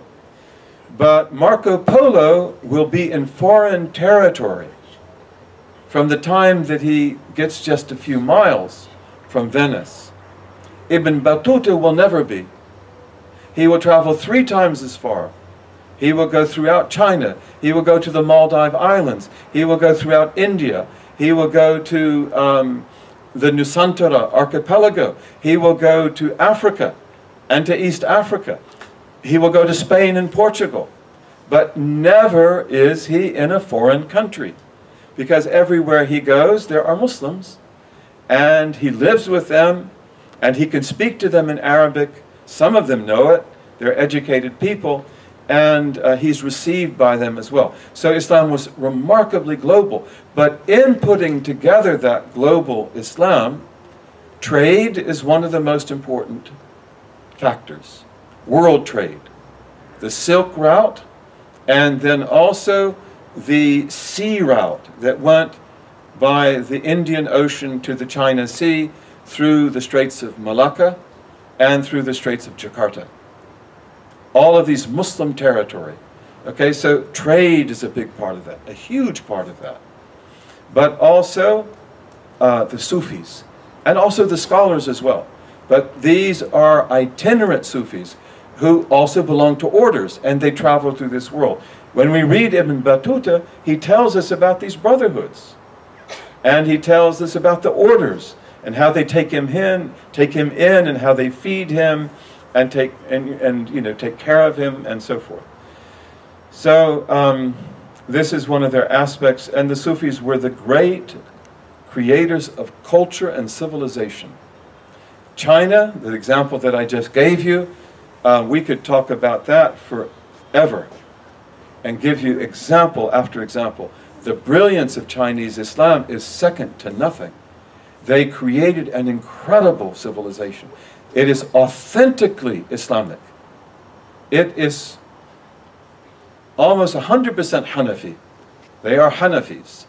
And it is Qadiri, Naqshbandi, uh, they have some other paths as well but it is also thoroughly Chinese, beautifully Chinese, which enables Islam to become rooted in China, and at the same time, it becomes an invitation to the Chinese to come into the faith and to adopt it without adopting a foreign faith. Uh, in fact, and with the Chinese, the fact that something is Chinese and is not foreign is very, very important. And the Chinese Muslims will even give Islam a Chinese name so that they can call it that. They will call it also Islam, which they pronounce Yisilan, which if you write it in Chinese, you have to use certain um, symbols, and you get uh, something like fragrant female orchid, which is not bad, you know, that Islam is fragrant female orchid. But you pronounce it Yisilan, Yisilan. Uh, but then just to have, you know, their own symbols for it, they called it Qing Zhen Jiao, which meant the religion of the pure and the real. And that means something to you. It rings a bell. Wouldn't you be interested in knowing what my religion is? It's the religion of the real and the pure. Wouldn't you like to know? But the Chinese really want to know because those words uh, trigger off in their minds incredible responses that then this must be the way of Confucius. This must be the way of Lao Tzu. This must be the way of the Yellow Emperor. And the Muslims understood that. And they also said that. They said that when Islam came to China, the truths of the Yellow Emperor, who may have been a prophet, he lived thousands of years ago, they were not all gone. Many of them were still there. And Islam came to bring them back to life. So Muslims are the great cultural creators, masters of language, masters of poetry. They speak to people in their own languages. They master those languages. They know the people. They know the people. They know where they're strong. They know where they're weak. They know how those people worship if they're non-Muslims. And they know the amazing aspects of their worship and the things that are not so amazing. So they know how to approach them in that. And here, um, I want to just give you a good example. We have here our beautiful brothers and sisters from Nusantara, from Malaysia and the archipelago. And this is the story of a great Qadiri Sheikh, Ismail, uh, who is called Sultan al-Arifin, and he's the one who's buried in Pulau Besar, in the Straits of Malacca. This was uh, one of the descendants of Sheikh Abdul Qadir Jilani, and um, you know, he is uh, the, sh the Sheikh of uh, Sunan Giri and of Sunan Bonang. So they spent a lot of time with him. And this great man, this is in the, in the 15th and 16th century, in the 1400s and the 1500s, just before the Portuguese come. The Portuguese are going to attack. And so he will be there. They say that Sidi Ismail was sent uh, to uh, that part of the world from Mecca by a dream from his prophet, our prophet, his great grandfather. And so he went there, and he'll stay there and he'll work very hard. And uh, so, uh, in conjunction with him, and we don't want to say from him, that would be an exaggeration, but you get what are called Wali Songo. These are the nine saints of Java Sunan Gresik, Sunan Ampel, Sunan Giri, Sunan Kalijaga, who's one of the greatest of them, Sunan Bonang, uh, Sunan Derajat, Sunan Kudus, Sunan Muria, Sunan Gunung Jati. So these are the nine saints, and these people are an excellent example, one of the best examples of all, not only of spreading Islam, but of doing it with the greatest subtlety, the greatest sophistication, of the greatest beauty, philosophical profundity. So they are able actually to bring the island of Java, to consolidate Islam in the island of Java, which is one of the uh, great islands of Nusantara. And they're able to do this, again, by respecting the people, by loving the people, knowing the people. They use the Javanese language with a, a precision and with a subtleness that is uh, unmatched. Uh, at that time, you have in Java um, a great civilization which is uh, Hindu Buddhist. Most of the people are Hindus, and they are Shivite Hindus. And then you have also a particular type of Buddhism, which, if I'm not mistaken, is unique to Java. but it's also very strong. So they understand this Buddhism extremely well, and they understand this Shivite Hinduism very well, and they know how to speak to its followers and how to call them to Islam without offending them and without um, angering them, but by showing them certain similarities between what they already believe and what they already practice and what's there in Islam. And one of the themes of the nine saints, the Wali Songo, is that nothing beats the Quran. They were all masters of the Quran. And this is almost one of the requirements of the path. You have to know it by heart. You have to recite it by heart. But they're always showing how, first of all, the recitation of the Quran is so beautiful. It's so musical. And that given the beauty, that despite the beauty that is there in the Shivite tradition or the Buddhist tradition, in their different recitations and chants, you can't really match the Quran. So they always bring the Quran to the people. They, and, and they make the recitation of the Quran something that is extremely attractive, and they teach them that. And then uh, at the same time, they show them that the teaching of this book is remarkable and it answers all the questions that we have. So they're able to put together an amazing culture. And the question of you know, how Islam comes to that part of the world is, of course, a big question. And uh, there's, no there's no doubt about the fact that the Arabs and the Persians and others, they played a great role. They were traders, they were teachers, they were scholars. But um, another powerful influence here that you see very clearly also in the Nine Saints is Chinese Islam. So you have Chinese Islam with all of its cultural brilliance. It is actually um, pollinating in that area and bringing about this great uh, development. One of the amazing things that they will do, for example, which is associated with, um, you know, Sunan Kalijaga and I think Sunan Muria probably is the main one. I'd have to check that, and you might, you probably would know. I don't remember. Um, but they will use puppets as primary da'is. So they spread Islam through puppets. And they create these incredible shadow puppets, the Javanese shadow puppet, and they train the puppeteers. Puppeteers already know how to use puppets, but they train them how to do it our way. And they have beautiful music uh, with gamelan orchestras. It's a different type of music.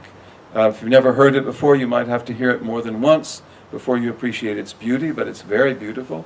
They have incredibly beautiful gamelan music. They have also songs and poetry in Javanese, and then they have the puppet shows. And the puppet shows are really beautiful. And the puppet shows will tell you about Islam, they will tell you about ethics and morality. They also give da'wah uh, to the Hindus and the Buddhists.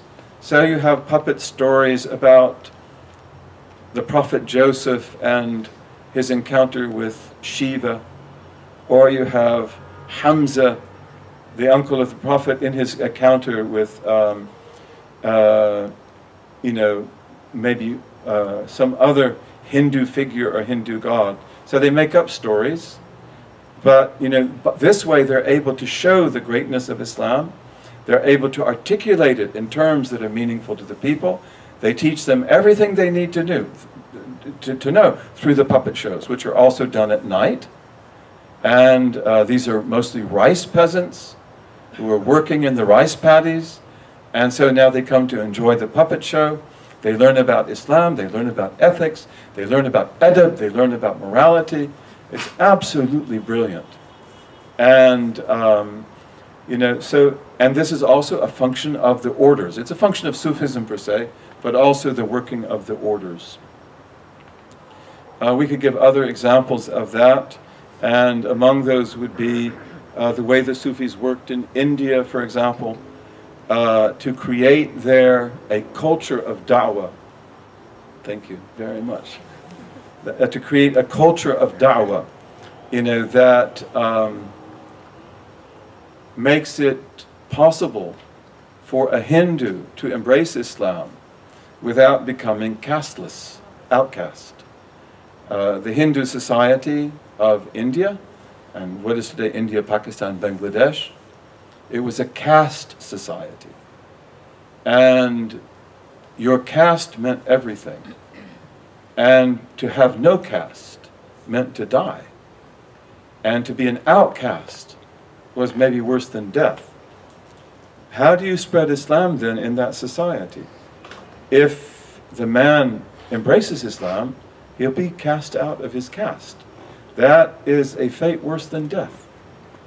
And if the woman embraces Islam, what do you do? So they create a whole culture in which they learn, in which they're able to do this um, in a very subtle way and in a very careful way, and also in which they're able to receive the outcast if that happens. One of the things they will do, for example, is create these langars, which are huge soup food kitchens. And um, if you go to Pakistan or India and you find these, you should really visit them. They're amazing. But they're huge kitchens. Um, the ones I've been in are bigger than this whole audience sitting here.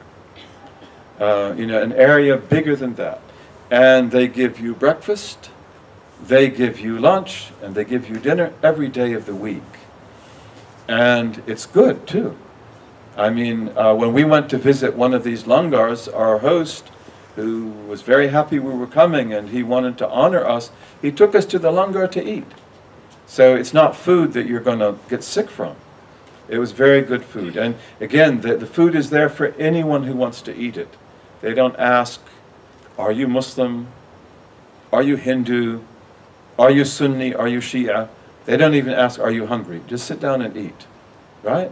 So this is a way that they're able to take in the Hindus who are outcast or the poor who have no means. And then they have other techniques like that. And um, I won't go into that in greater detail because we're out of time. But um, you know, um, let's say just a few words about the Sufis and Ahlul Bayt. We have about 10 minutes, right?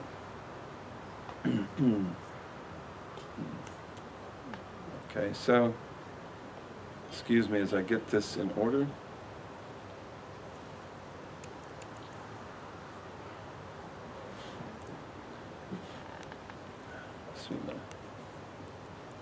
So let's, let's end with this today. Sufism and Ahlul Bayt. Hmm.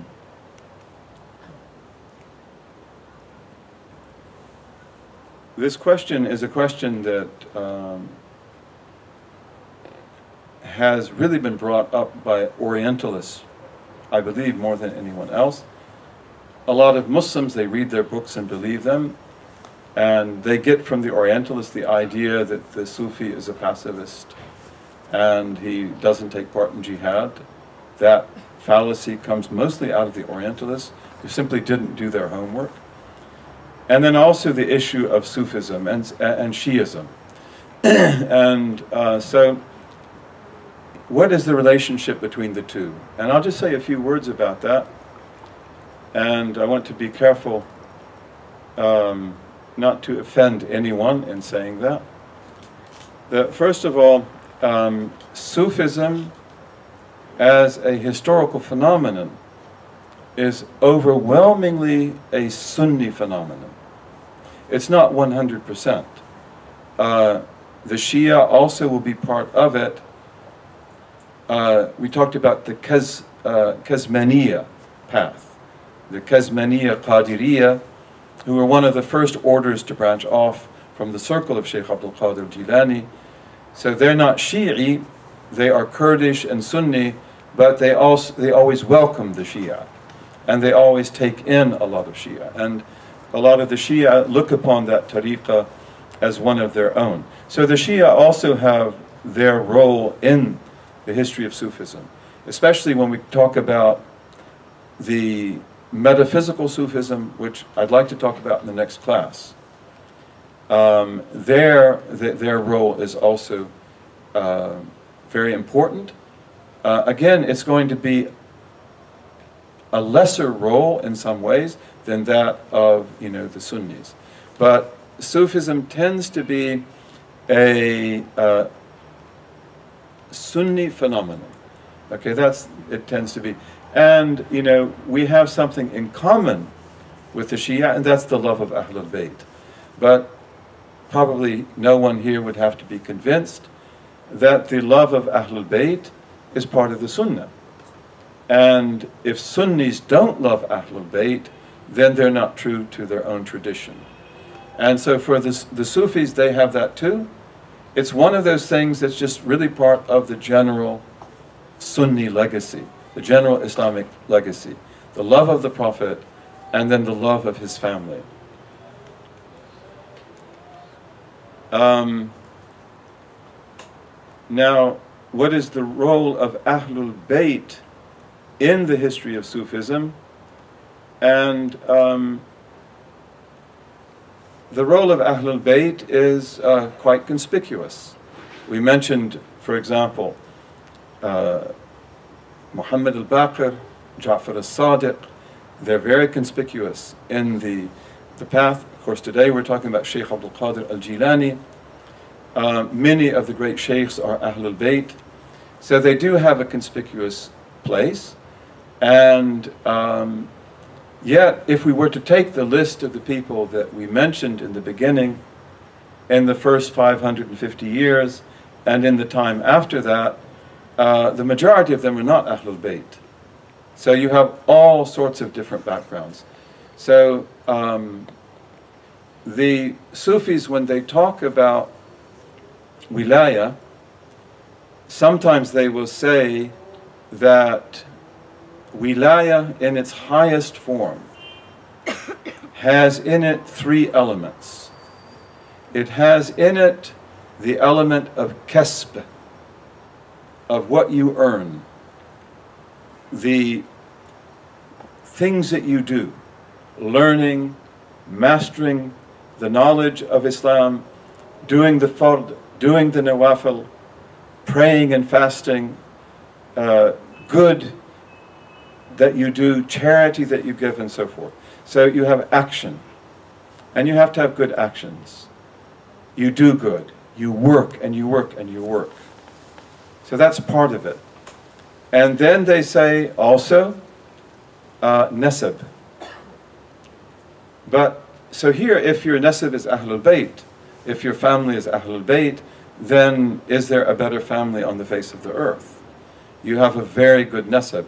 But you might also be of so many other genealogies and so many other lineages and from different people, from Turks and from Persians and from Chinese or whatever.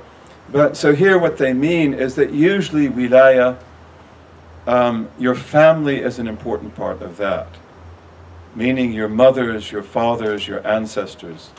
And often the wilaya that's given to you is a crown that's put on their heads. So family background is important. And that doesn't mean that a person could come from a background where they had no background that they knew at all and not achieve anything. Okay, but they say that's one of the elements. And then they say the third element is the gift of God that God bestows upon uh, His wali, um, you know, the gift of His knowledge and His closeness, and brings him to Him. Um, let's suffice with that tonight, and inshallah, we will try now to begin to take questions.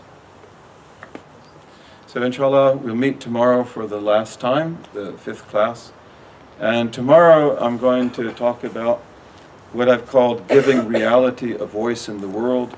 So we'll try to talk about uh, the intellectual legacy of the Sufis, bi'idhnillahi ta'ala.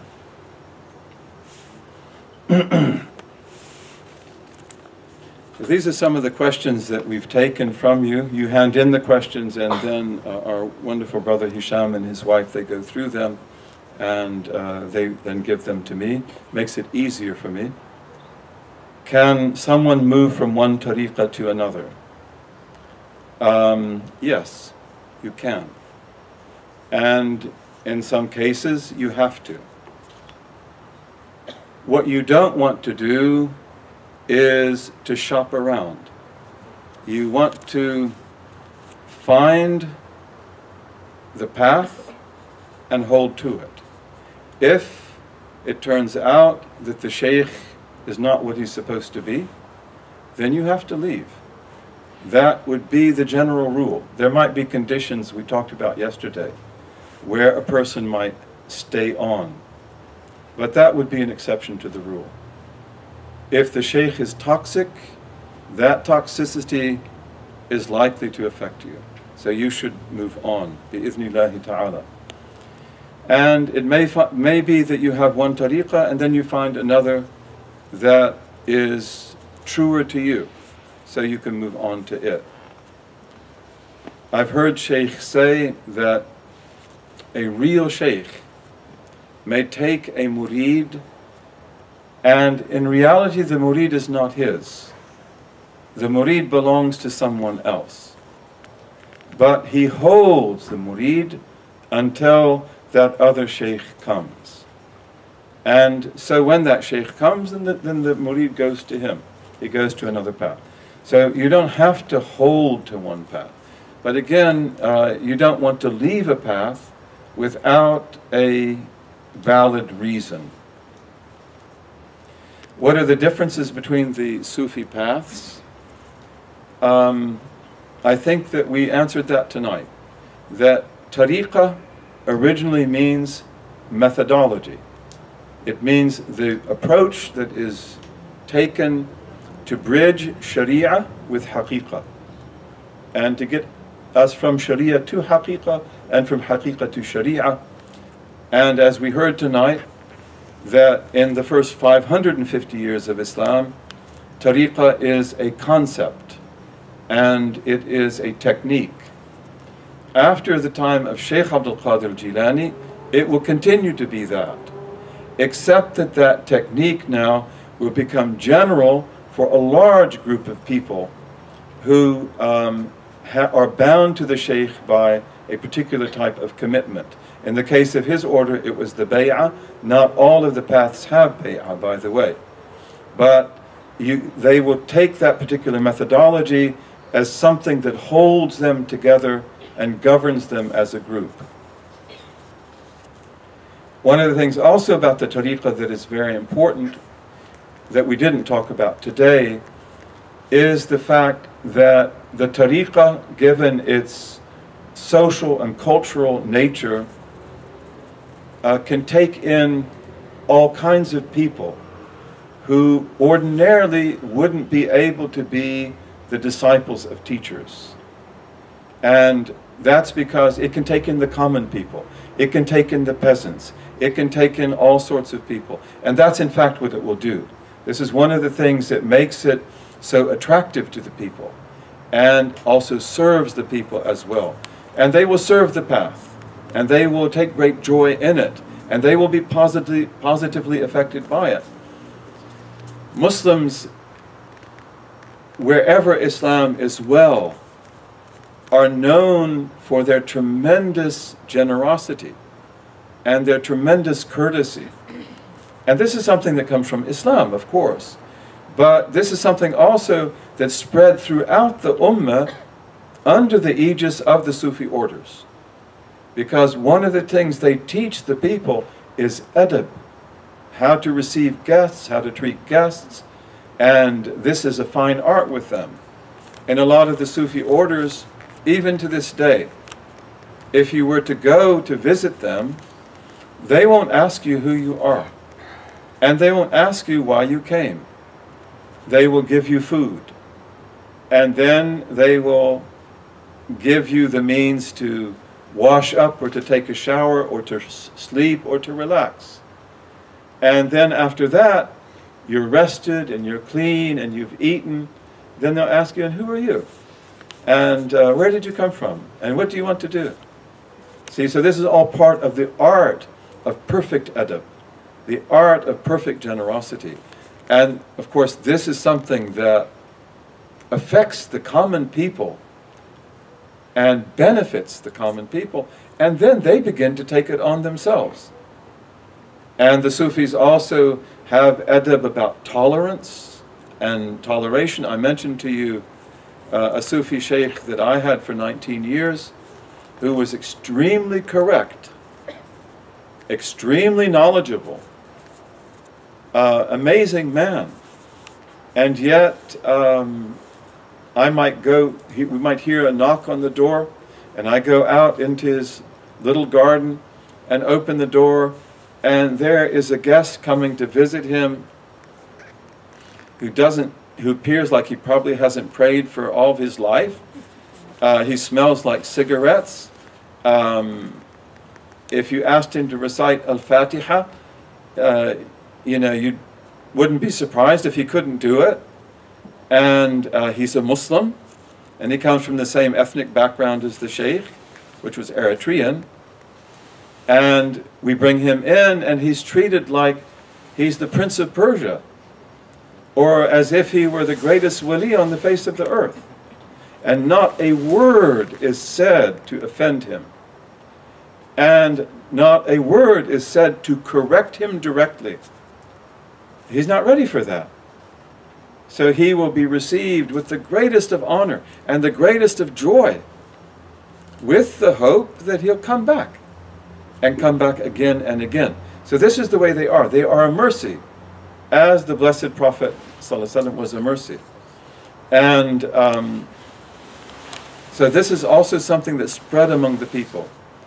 And one of the great, un, great misfortunes of the Muslim world today is that because we have, so many of us, turned our back on that legacy and in many cases rejected it totally, we become sometimes really impolite people, really arrogant people.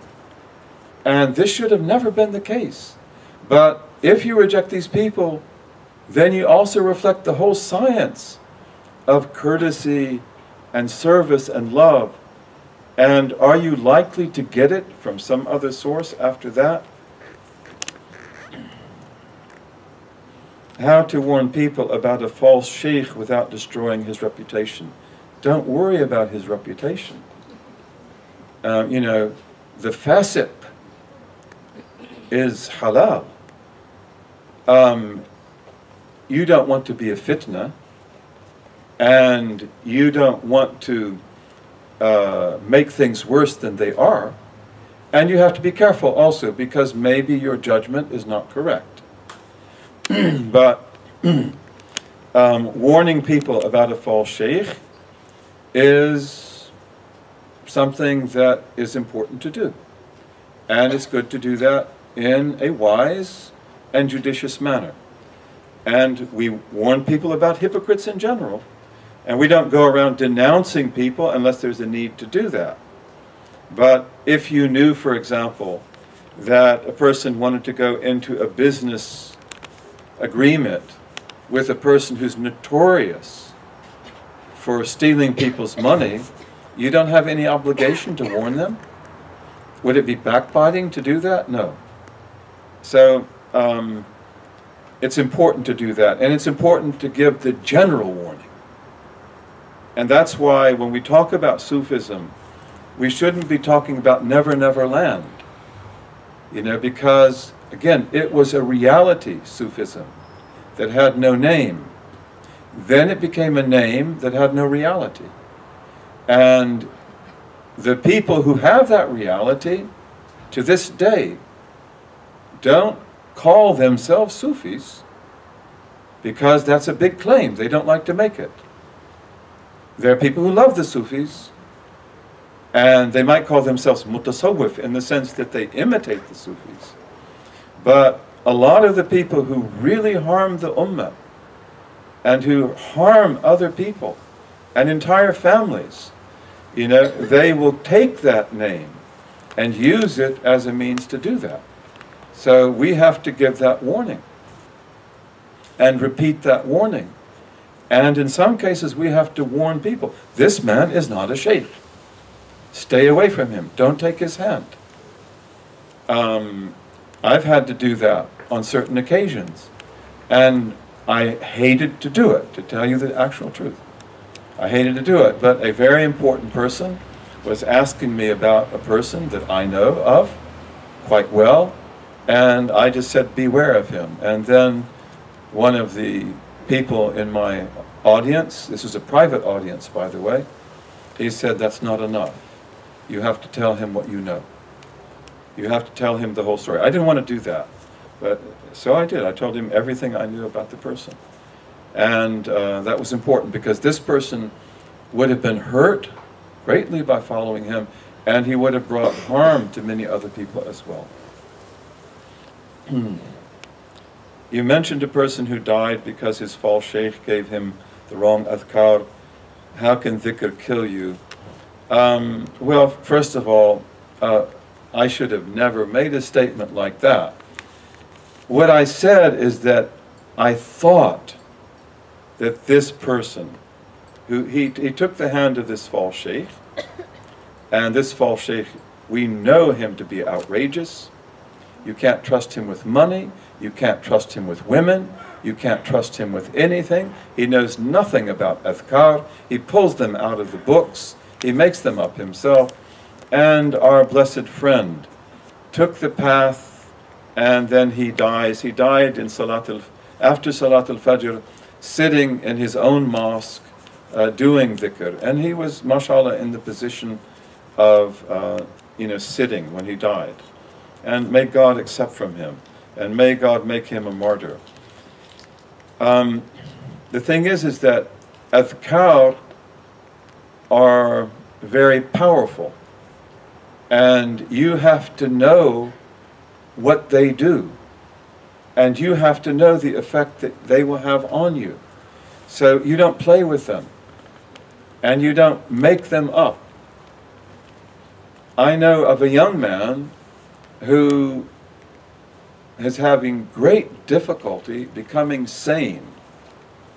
And he drove himself insane by making up his own dhikrs from the name of God, names of God.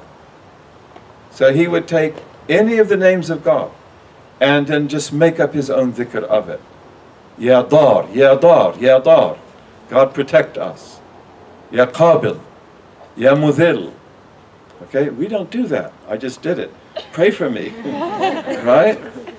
But that's what he did, experimenting. And he became psychologically deranged and haunted. He destroyed himself. And when he when I came to know of him, you know, then the first thing you have is regret that why did you do this?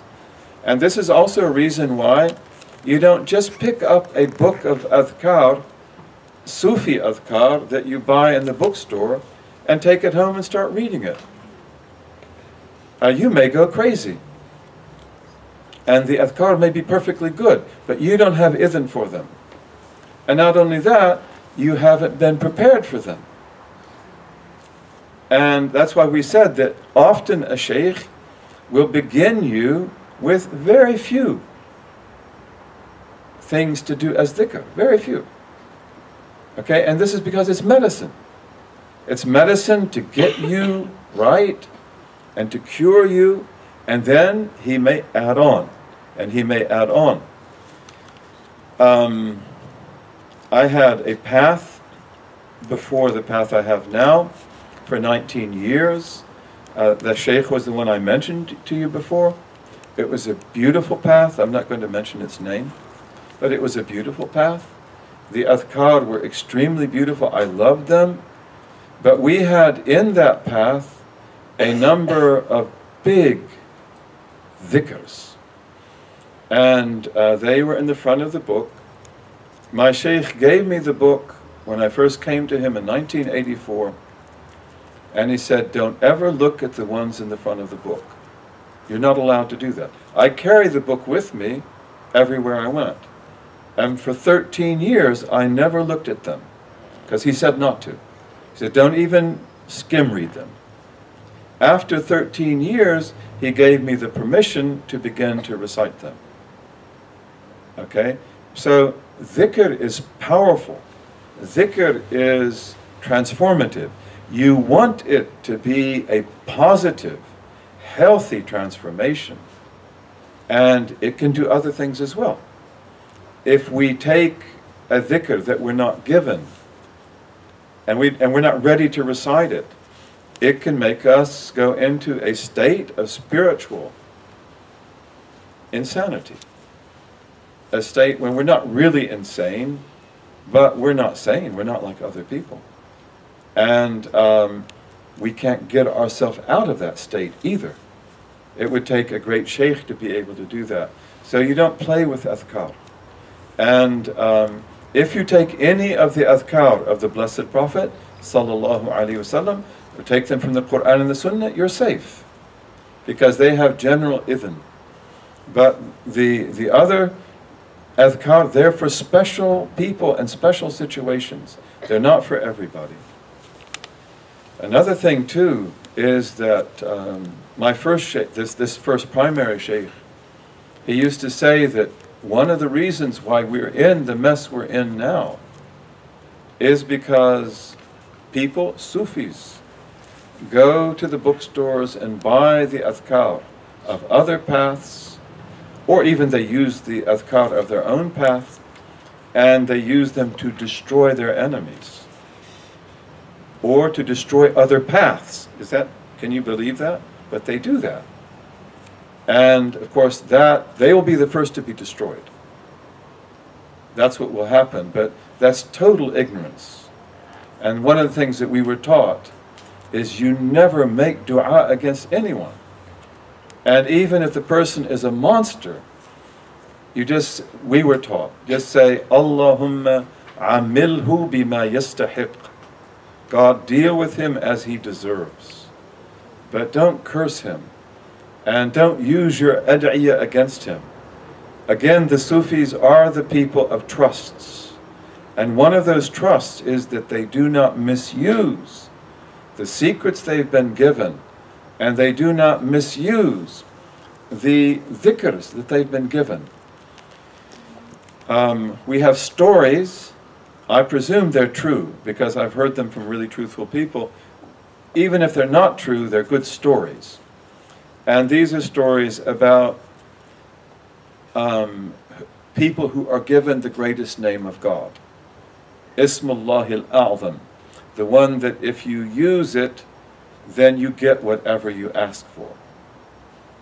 They say in one of these stories that a person on the path wanted to know where he could get the greatest name of God. And so his sheikh said, Well, there is a man who has it in such and such a village. And so you can go and see him. And so he went to see the man. And, and then when he saw the man, he said the man was weak and poor and wretched and old. And he was riding on a donkey, and I think he was collecting wood. And uh, people were mocking him, and they were throwing rocks at him. And um, and the, the person left and he came back and he said, I, I saw the man, but he said, like, he's got the greatest name of God. I mean, he's one of the most miserable people I've ever met in my life. And then the sheikh said, and what would you have done? He said, Wallahi, I would have burned the earth under their feet. Like if they'd thrown rocks at you and they had treated you this way. He said, I would have burned the earth under their feet. He said, that's why you'll never be given the greatest name of God. Because these people will never use it for themselves. And that's why they're given other trusts as well, because they will not misuse those trusts. And that's why it's so important for us also, when we're given different adhkar and different du'as, you know, don't misuse it. Don't abuse it use it for God. As we said, if you go on the path, you go on the path to get close to God.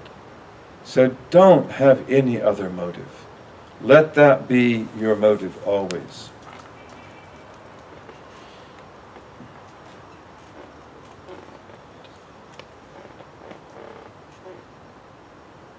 Um, so, is it permissible to, be- to begin a path and with time, along with experience, uh, you get total trust and submission? Or do submission and trust have to be 100% from the first day, from day one? That's a good question. That's a very good question. And uh, the answer, according to what I know, is no. You can come in. And in fact, um, in many cases, the murid or the murida who comes into the path are going to have lingering doubts. Because, first of all, um, you don't really know the sheikh. You trust him. And you've heard good things about him, maybe. And maybe you look at him and say, he looks so trustworthy. And you're around him and you like the aura that he has. But, you know, you need to know him because he is your father. And, you know, you need to know really who he is. So, this is one of the reasons why, as you take the path and you follow the path, one of the most beautiful things that happens is that every year you come to know your sheikh much better than before uh, to the extent that you may be ashamed of the way you were with him a year or two ago. And again, they have khususiyah, they have bashariyah, they have their humanness, which makes them just like you and me. But they have a khususiyah, which is hidden. And sometimes that khususiyah comes out, especially when you have the gift of company. And when it comes out, it can be frightening. That, like, my God, who is he? You know, and like you ask him a question, and he answers it, and you ask him another question, he answers it. And he never talked about things like that. So that's one of the beautiful things in companionship. You come to know your companion. And the same thing's true of the murids and the muridas. That as we go down the path with each other, we come to know each other. And um, I don't see any of them here tonight, but you know, I have a group um, of Egyptians with me and with us, whom I met in Chicago how many years ago? I'd have to calculate. You know, more than um, 10 years ago. And uh, they were so beautiful from the very beginning and they'd come and see me, and we had dhikr sessions, and I was teaching the hikam, and they wanted, like anything, you know, to be, to follow me and so forth. And, you know, like, you accept that, but it's as the years go by, you discover who they are. And every one of them is a hundred times greater than I ever imagined in the beginning. It makes me ashamed of how little I perceived in the beginning. And this is one of the beauties of companionship, isn't it? Like maybe your companion is solid gold, but you wouldn't know that if you didn't keep his company. And the same thing's true of the muridas. You find out that they have incredible qualities that you never knew before. So there's great benefit in that, bi'idhnillahi ta'ala. There is a story also when you come to the sheikh, do you come to him perfect or imperfect? Um, sometimes people come perfect. Uh, Jalaluddin Rumi comes to Shams Tabrizi about as perfect as you can be. Shams will make him even more and even more. And he will make Shams even more. Because they have, they're like sheikhs of each other, although Shams is the big sheikh, really, and the great sheikh. But most of us come to our sheikhs very imperfect. In fact, sometimes we come to a sheikh with a big problem that we cannot solve. And maybe the fact that he solved it, that's what makes you attached to him. So there is a story, again, let's say it's true. Even if it's not, it's a good story. And this is of a murid who took the hand of a sheikh. And his sheikh was a true sheikh. And so he went home and he dreamed. And he saw his sheikh. And he saw his sheikh in the form of a pig.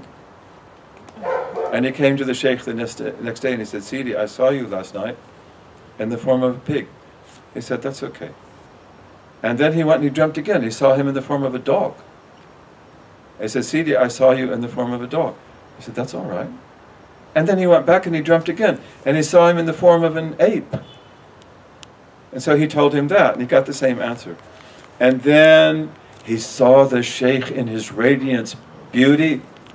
And he came, he said, Last night I saw you as you truly are. And he said, Alhamdulillah. He said, Before you were just seeing yourself.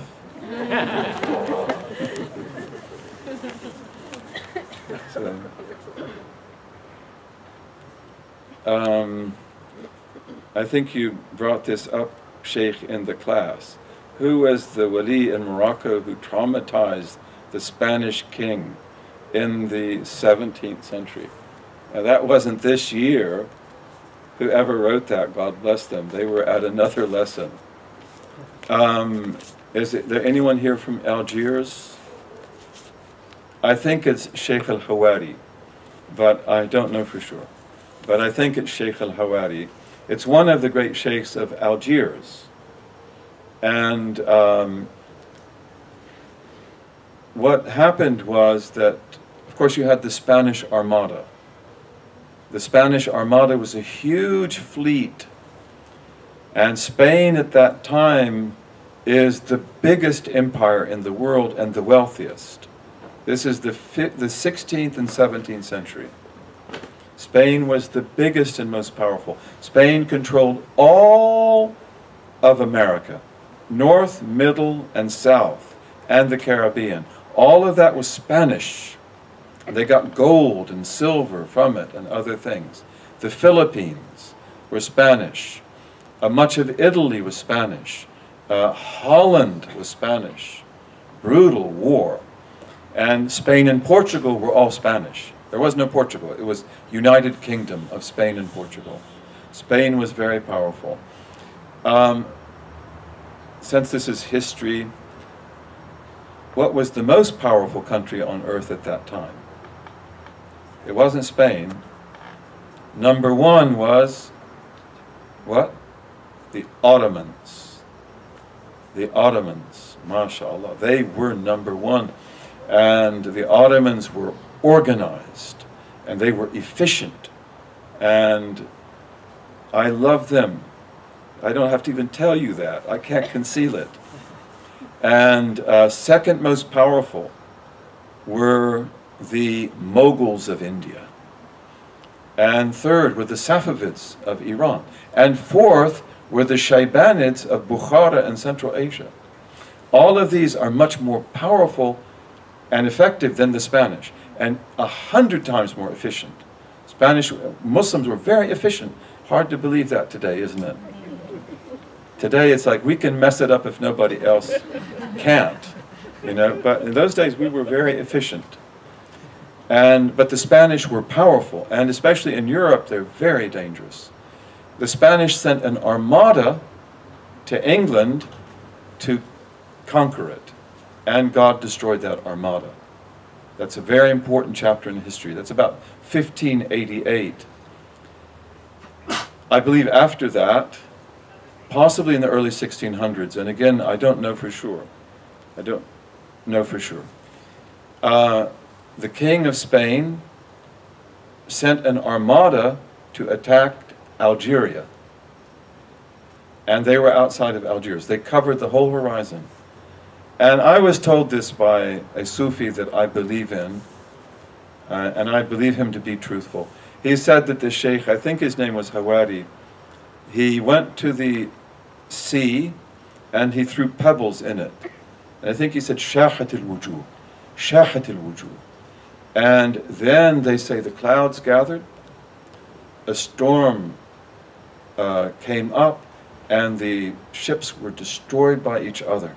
They ran into each other because there are lots of them, they're close together.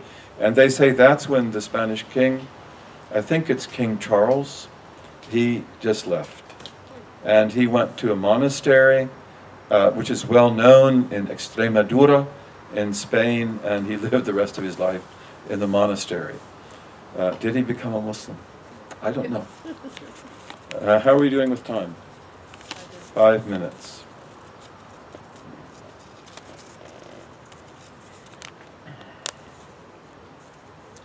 How can one make amends for themselves once others may have forgiven them, but they have not forgiven themselves? Um, how do you make amends for yourself if you've done something really bad and others forgive you, but you cannot forgive yourself? Um, may that never be the case. You know, may whatever has happened in the past, may we be able to turn back to God. We have the story of the murderer who murdered 99 people. And then he came to the scholar, he was of the children of Israel, as you know, and he came to the scholar of the children of Israel, and he said, Can God forgive me? And he said, No. And so he said, I'll make it 100. And he did. And then he went to another scholar who is described as knowing God, and he said, Yes. Um, and then he said, But leave the city where you did the crimes, and go to another city which is known for its uprightness. So that's very, very important right there. Leave that bad, bad company and go to good company. That will change you. That will make you a new man. And as you know from the hadith, which is one of the sahih, that the man set out for that other city of the righteous people and he died before he got there. And then we're told that the angels of wrath wanted him. He's a murderer. He murdered 100 people. Let us take him. And the angels of mercy wanted him. That no, he did repentance. And then they say that God sent a messenger to arbitrate and said, measure the distance. And if he's closer to the old city, let the angels of wrath take him. And if he's closer to the other city, let the angels of mercy take him. And it said that God even shortened the distance to the city of the good people so that he was taken by the angels of mercy. So we must believe in God's forgiveness. And we must believe that he removes all sins. Um, and we hope that none of us will be obstructed by that. But when you do do things wrong, and every one of us does, um, if we go through our lives, even as people that have done tawbah and that are on the path, we have times of failure. We have times of defeat. We have times when, you know, we were doing dhikr and we were getting up and praying, and then we don't do it. Right? Our hearts become hard. And we may feel very bad about that. And sometimes people even um, go back almost to where they were before. Sometimes they do go back to where they were before. So we have fetra, we have times of weakness, and we have times of failure. And in the spiritual path, those are all sayyi'at that you want to turn into hasanat. And one of the ways that you do that is never forget them. And always remember that this is who I am. I'm not this great person that does dhikr and prays. No, I'm that bad person who didn't do dhikr and didn't pray. So what do I have to be proud of? And also, what power do I have to produce my own salvation? I don't. What if God were to will that I would backtrack in the last moments of my life? It was possible then. It's not going to be possible at that time. It is possible, isn't it? May that never happen. That's why we pray that it never happen. But, you know, the bad deeds that we've done, we want to always remember so that they keep us humble. And when we do that, that bad deed then can become a hasana because of the fact that it enables you now to worship God purely, you know, with no sense of ego, no sense of accomplishment, with a sense of failure. That who am I after all? Never forget, I'm the one who failed. And the fact that I got back up on my feet, then, you know, don't be deluded by that. It's said about Pharaoh that nothing ever went wrong for him ever. He always had what he wanted. He always accomplished what he wanted to accomplish. This is one of the things that made him a tyrant. This is one of the things that made him believe that he was uh, the high, your highest Lord. And in fact, if God had made him sick, if God had made him fail, he probably could have never been Pharaoh. To be Pharaoh, he had to be that person who outwardly was perfect handsome, strong, beautiful. He succeeds at everything he does. He is Pharaoh. If he commands you, you better obey. So um, our failures are actually successes, especially on the spiritual path. We have to be honest about ourselves.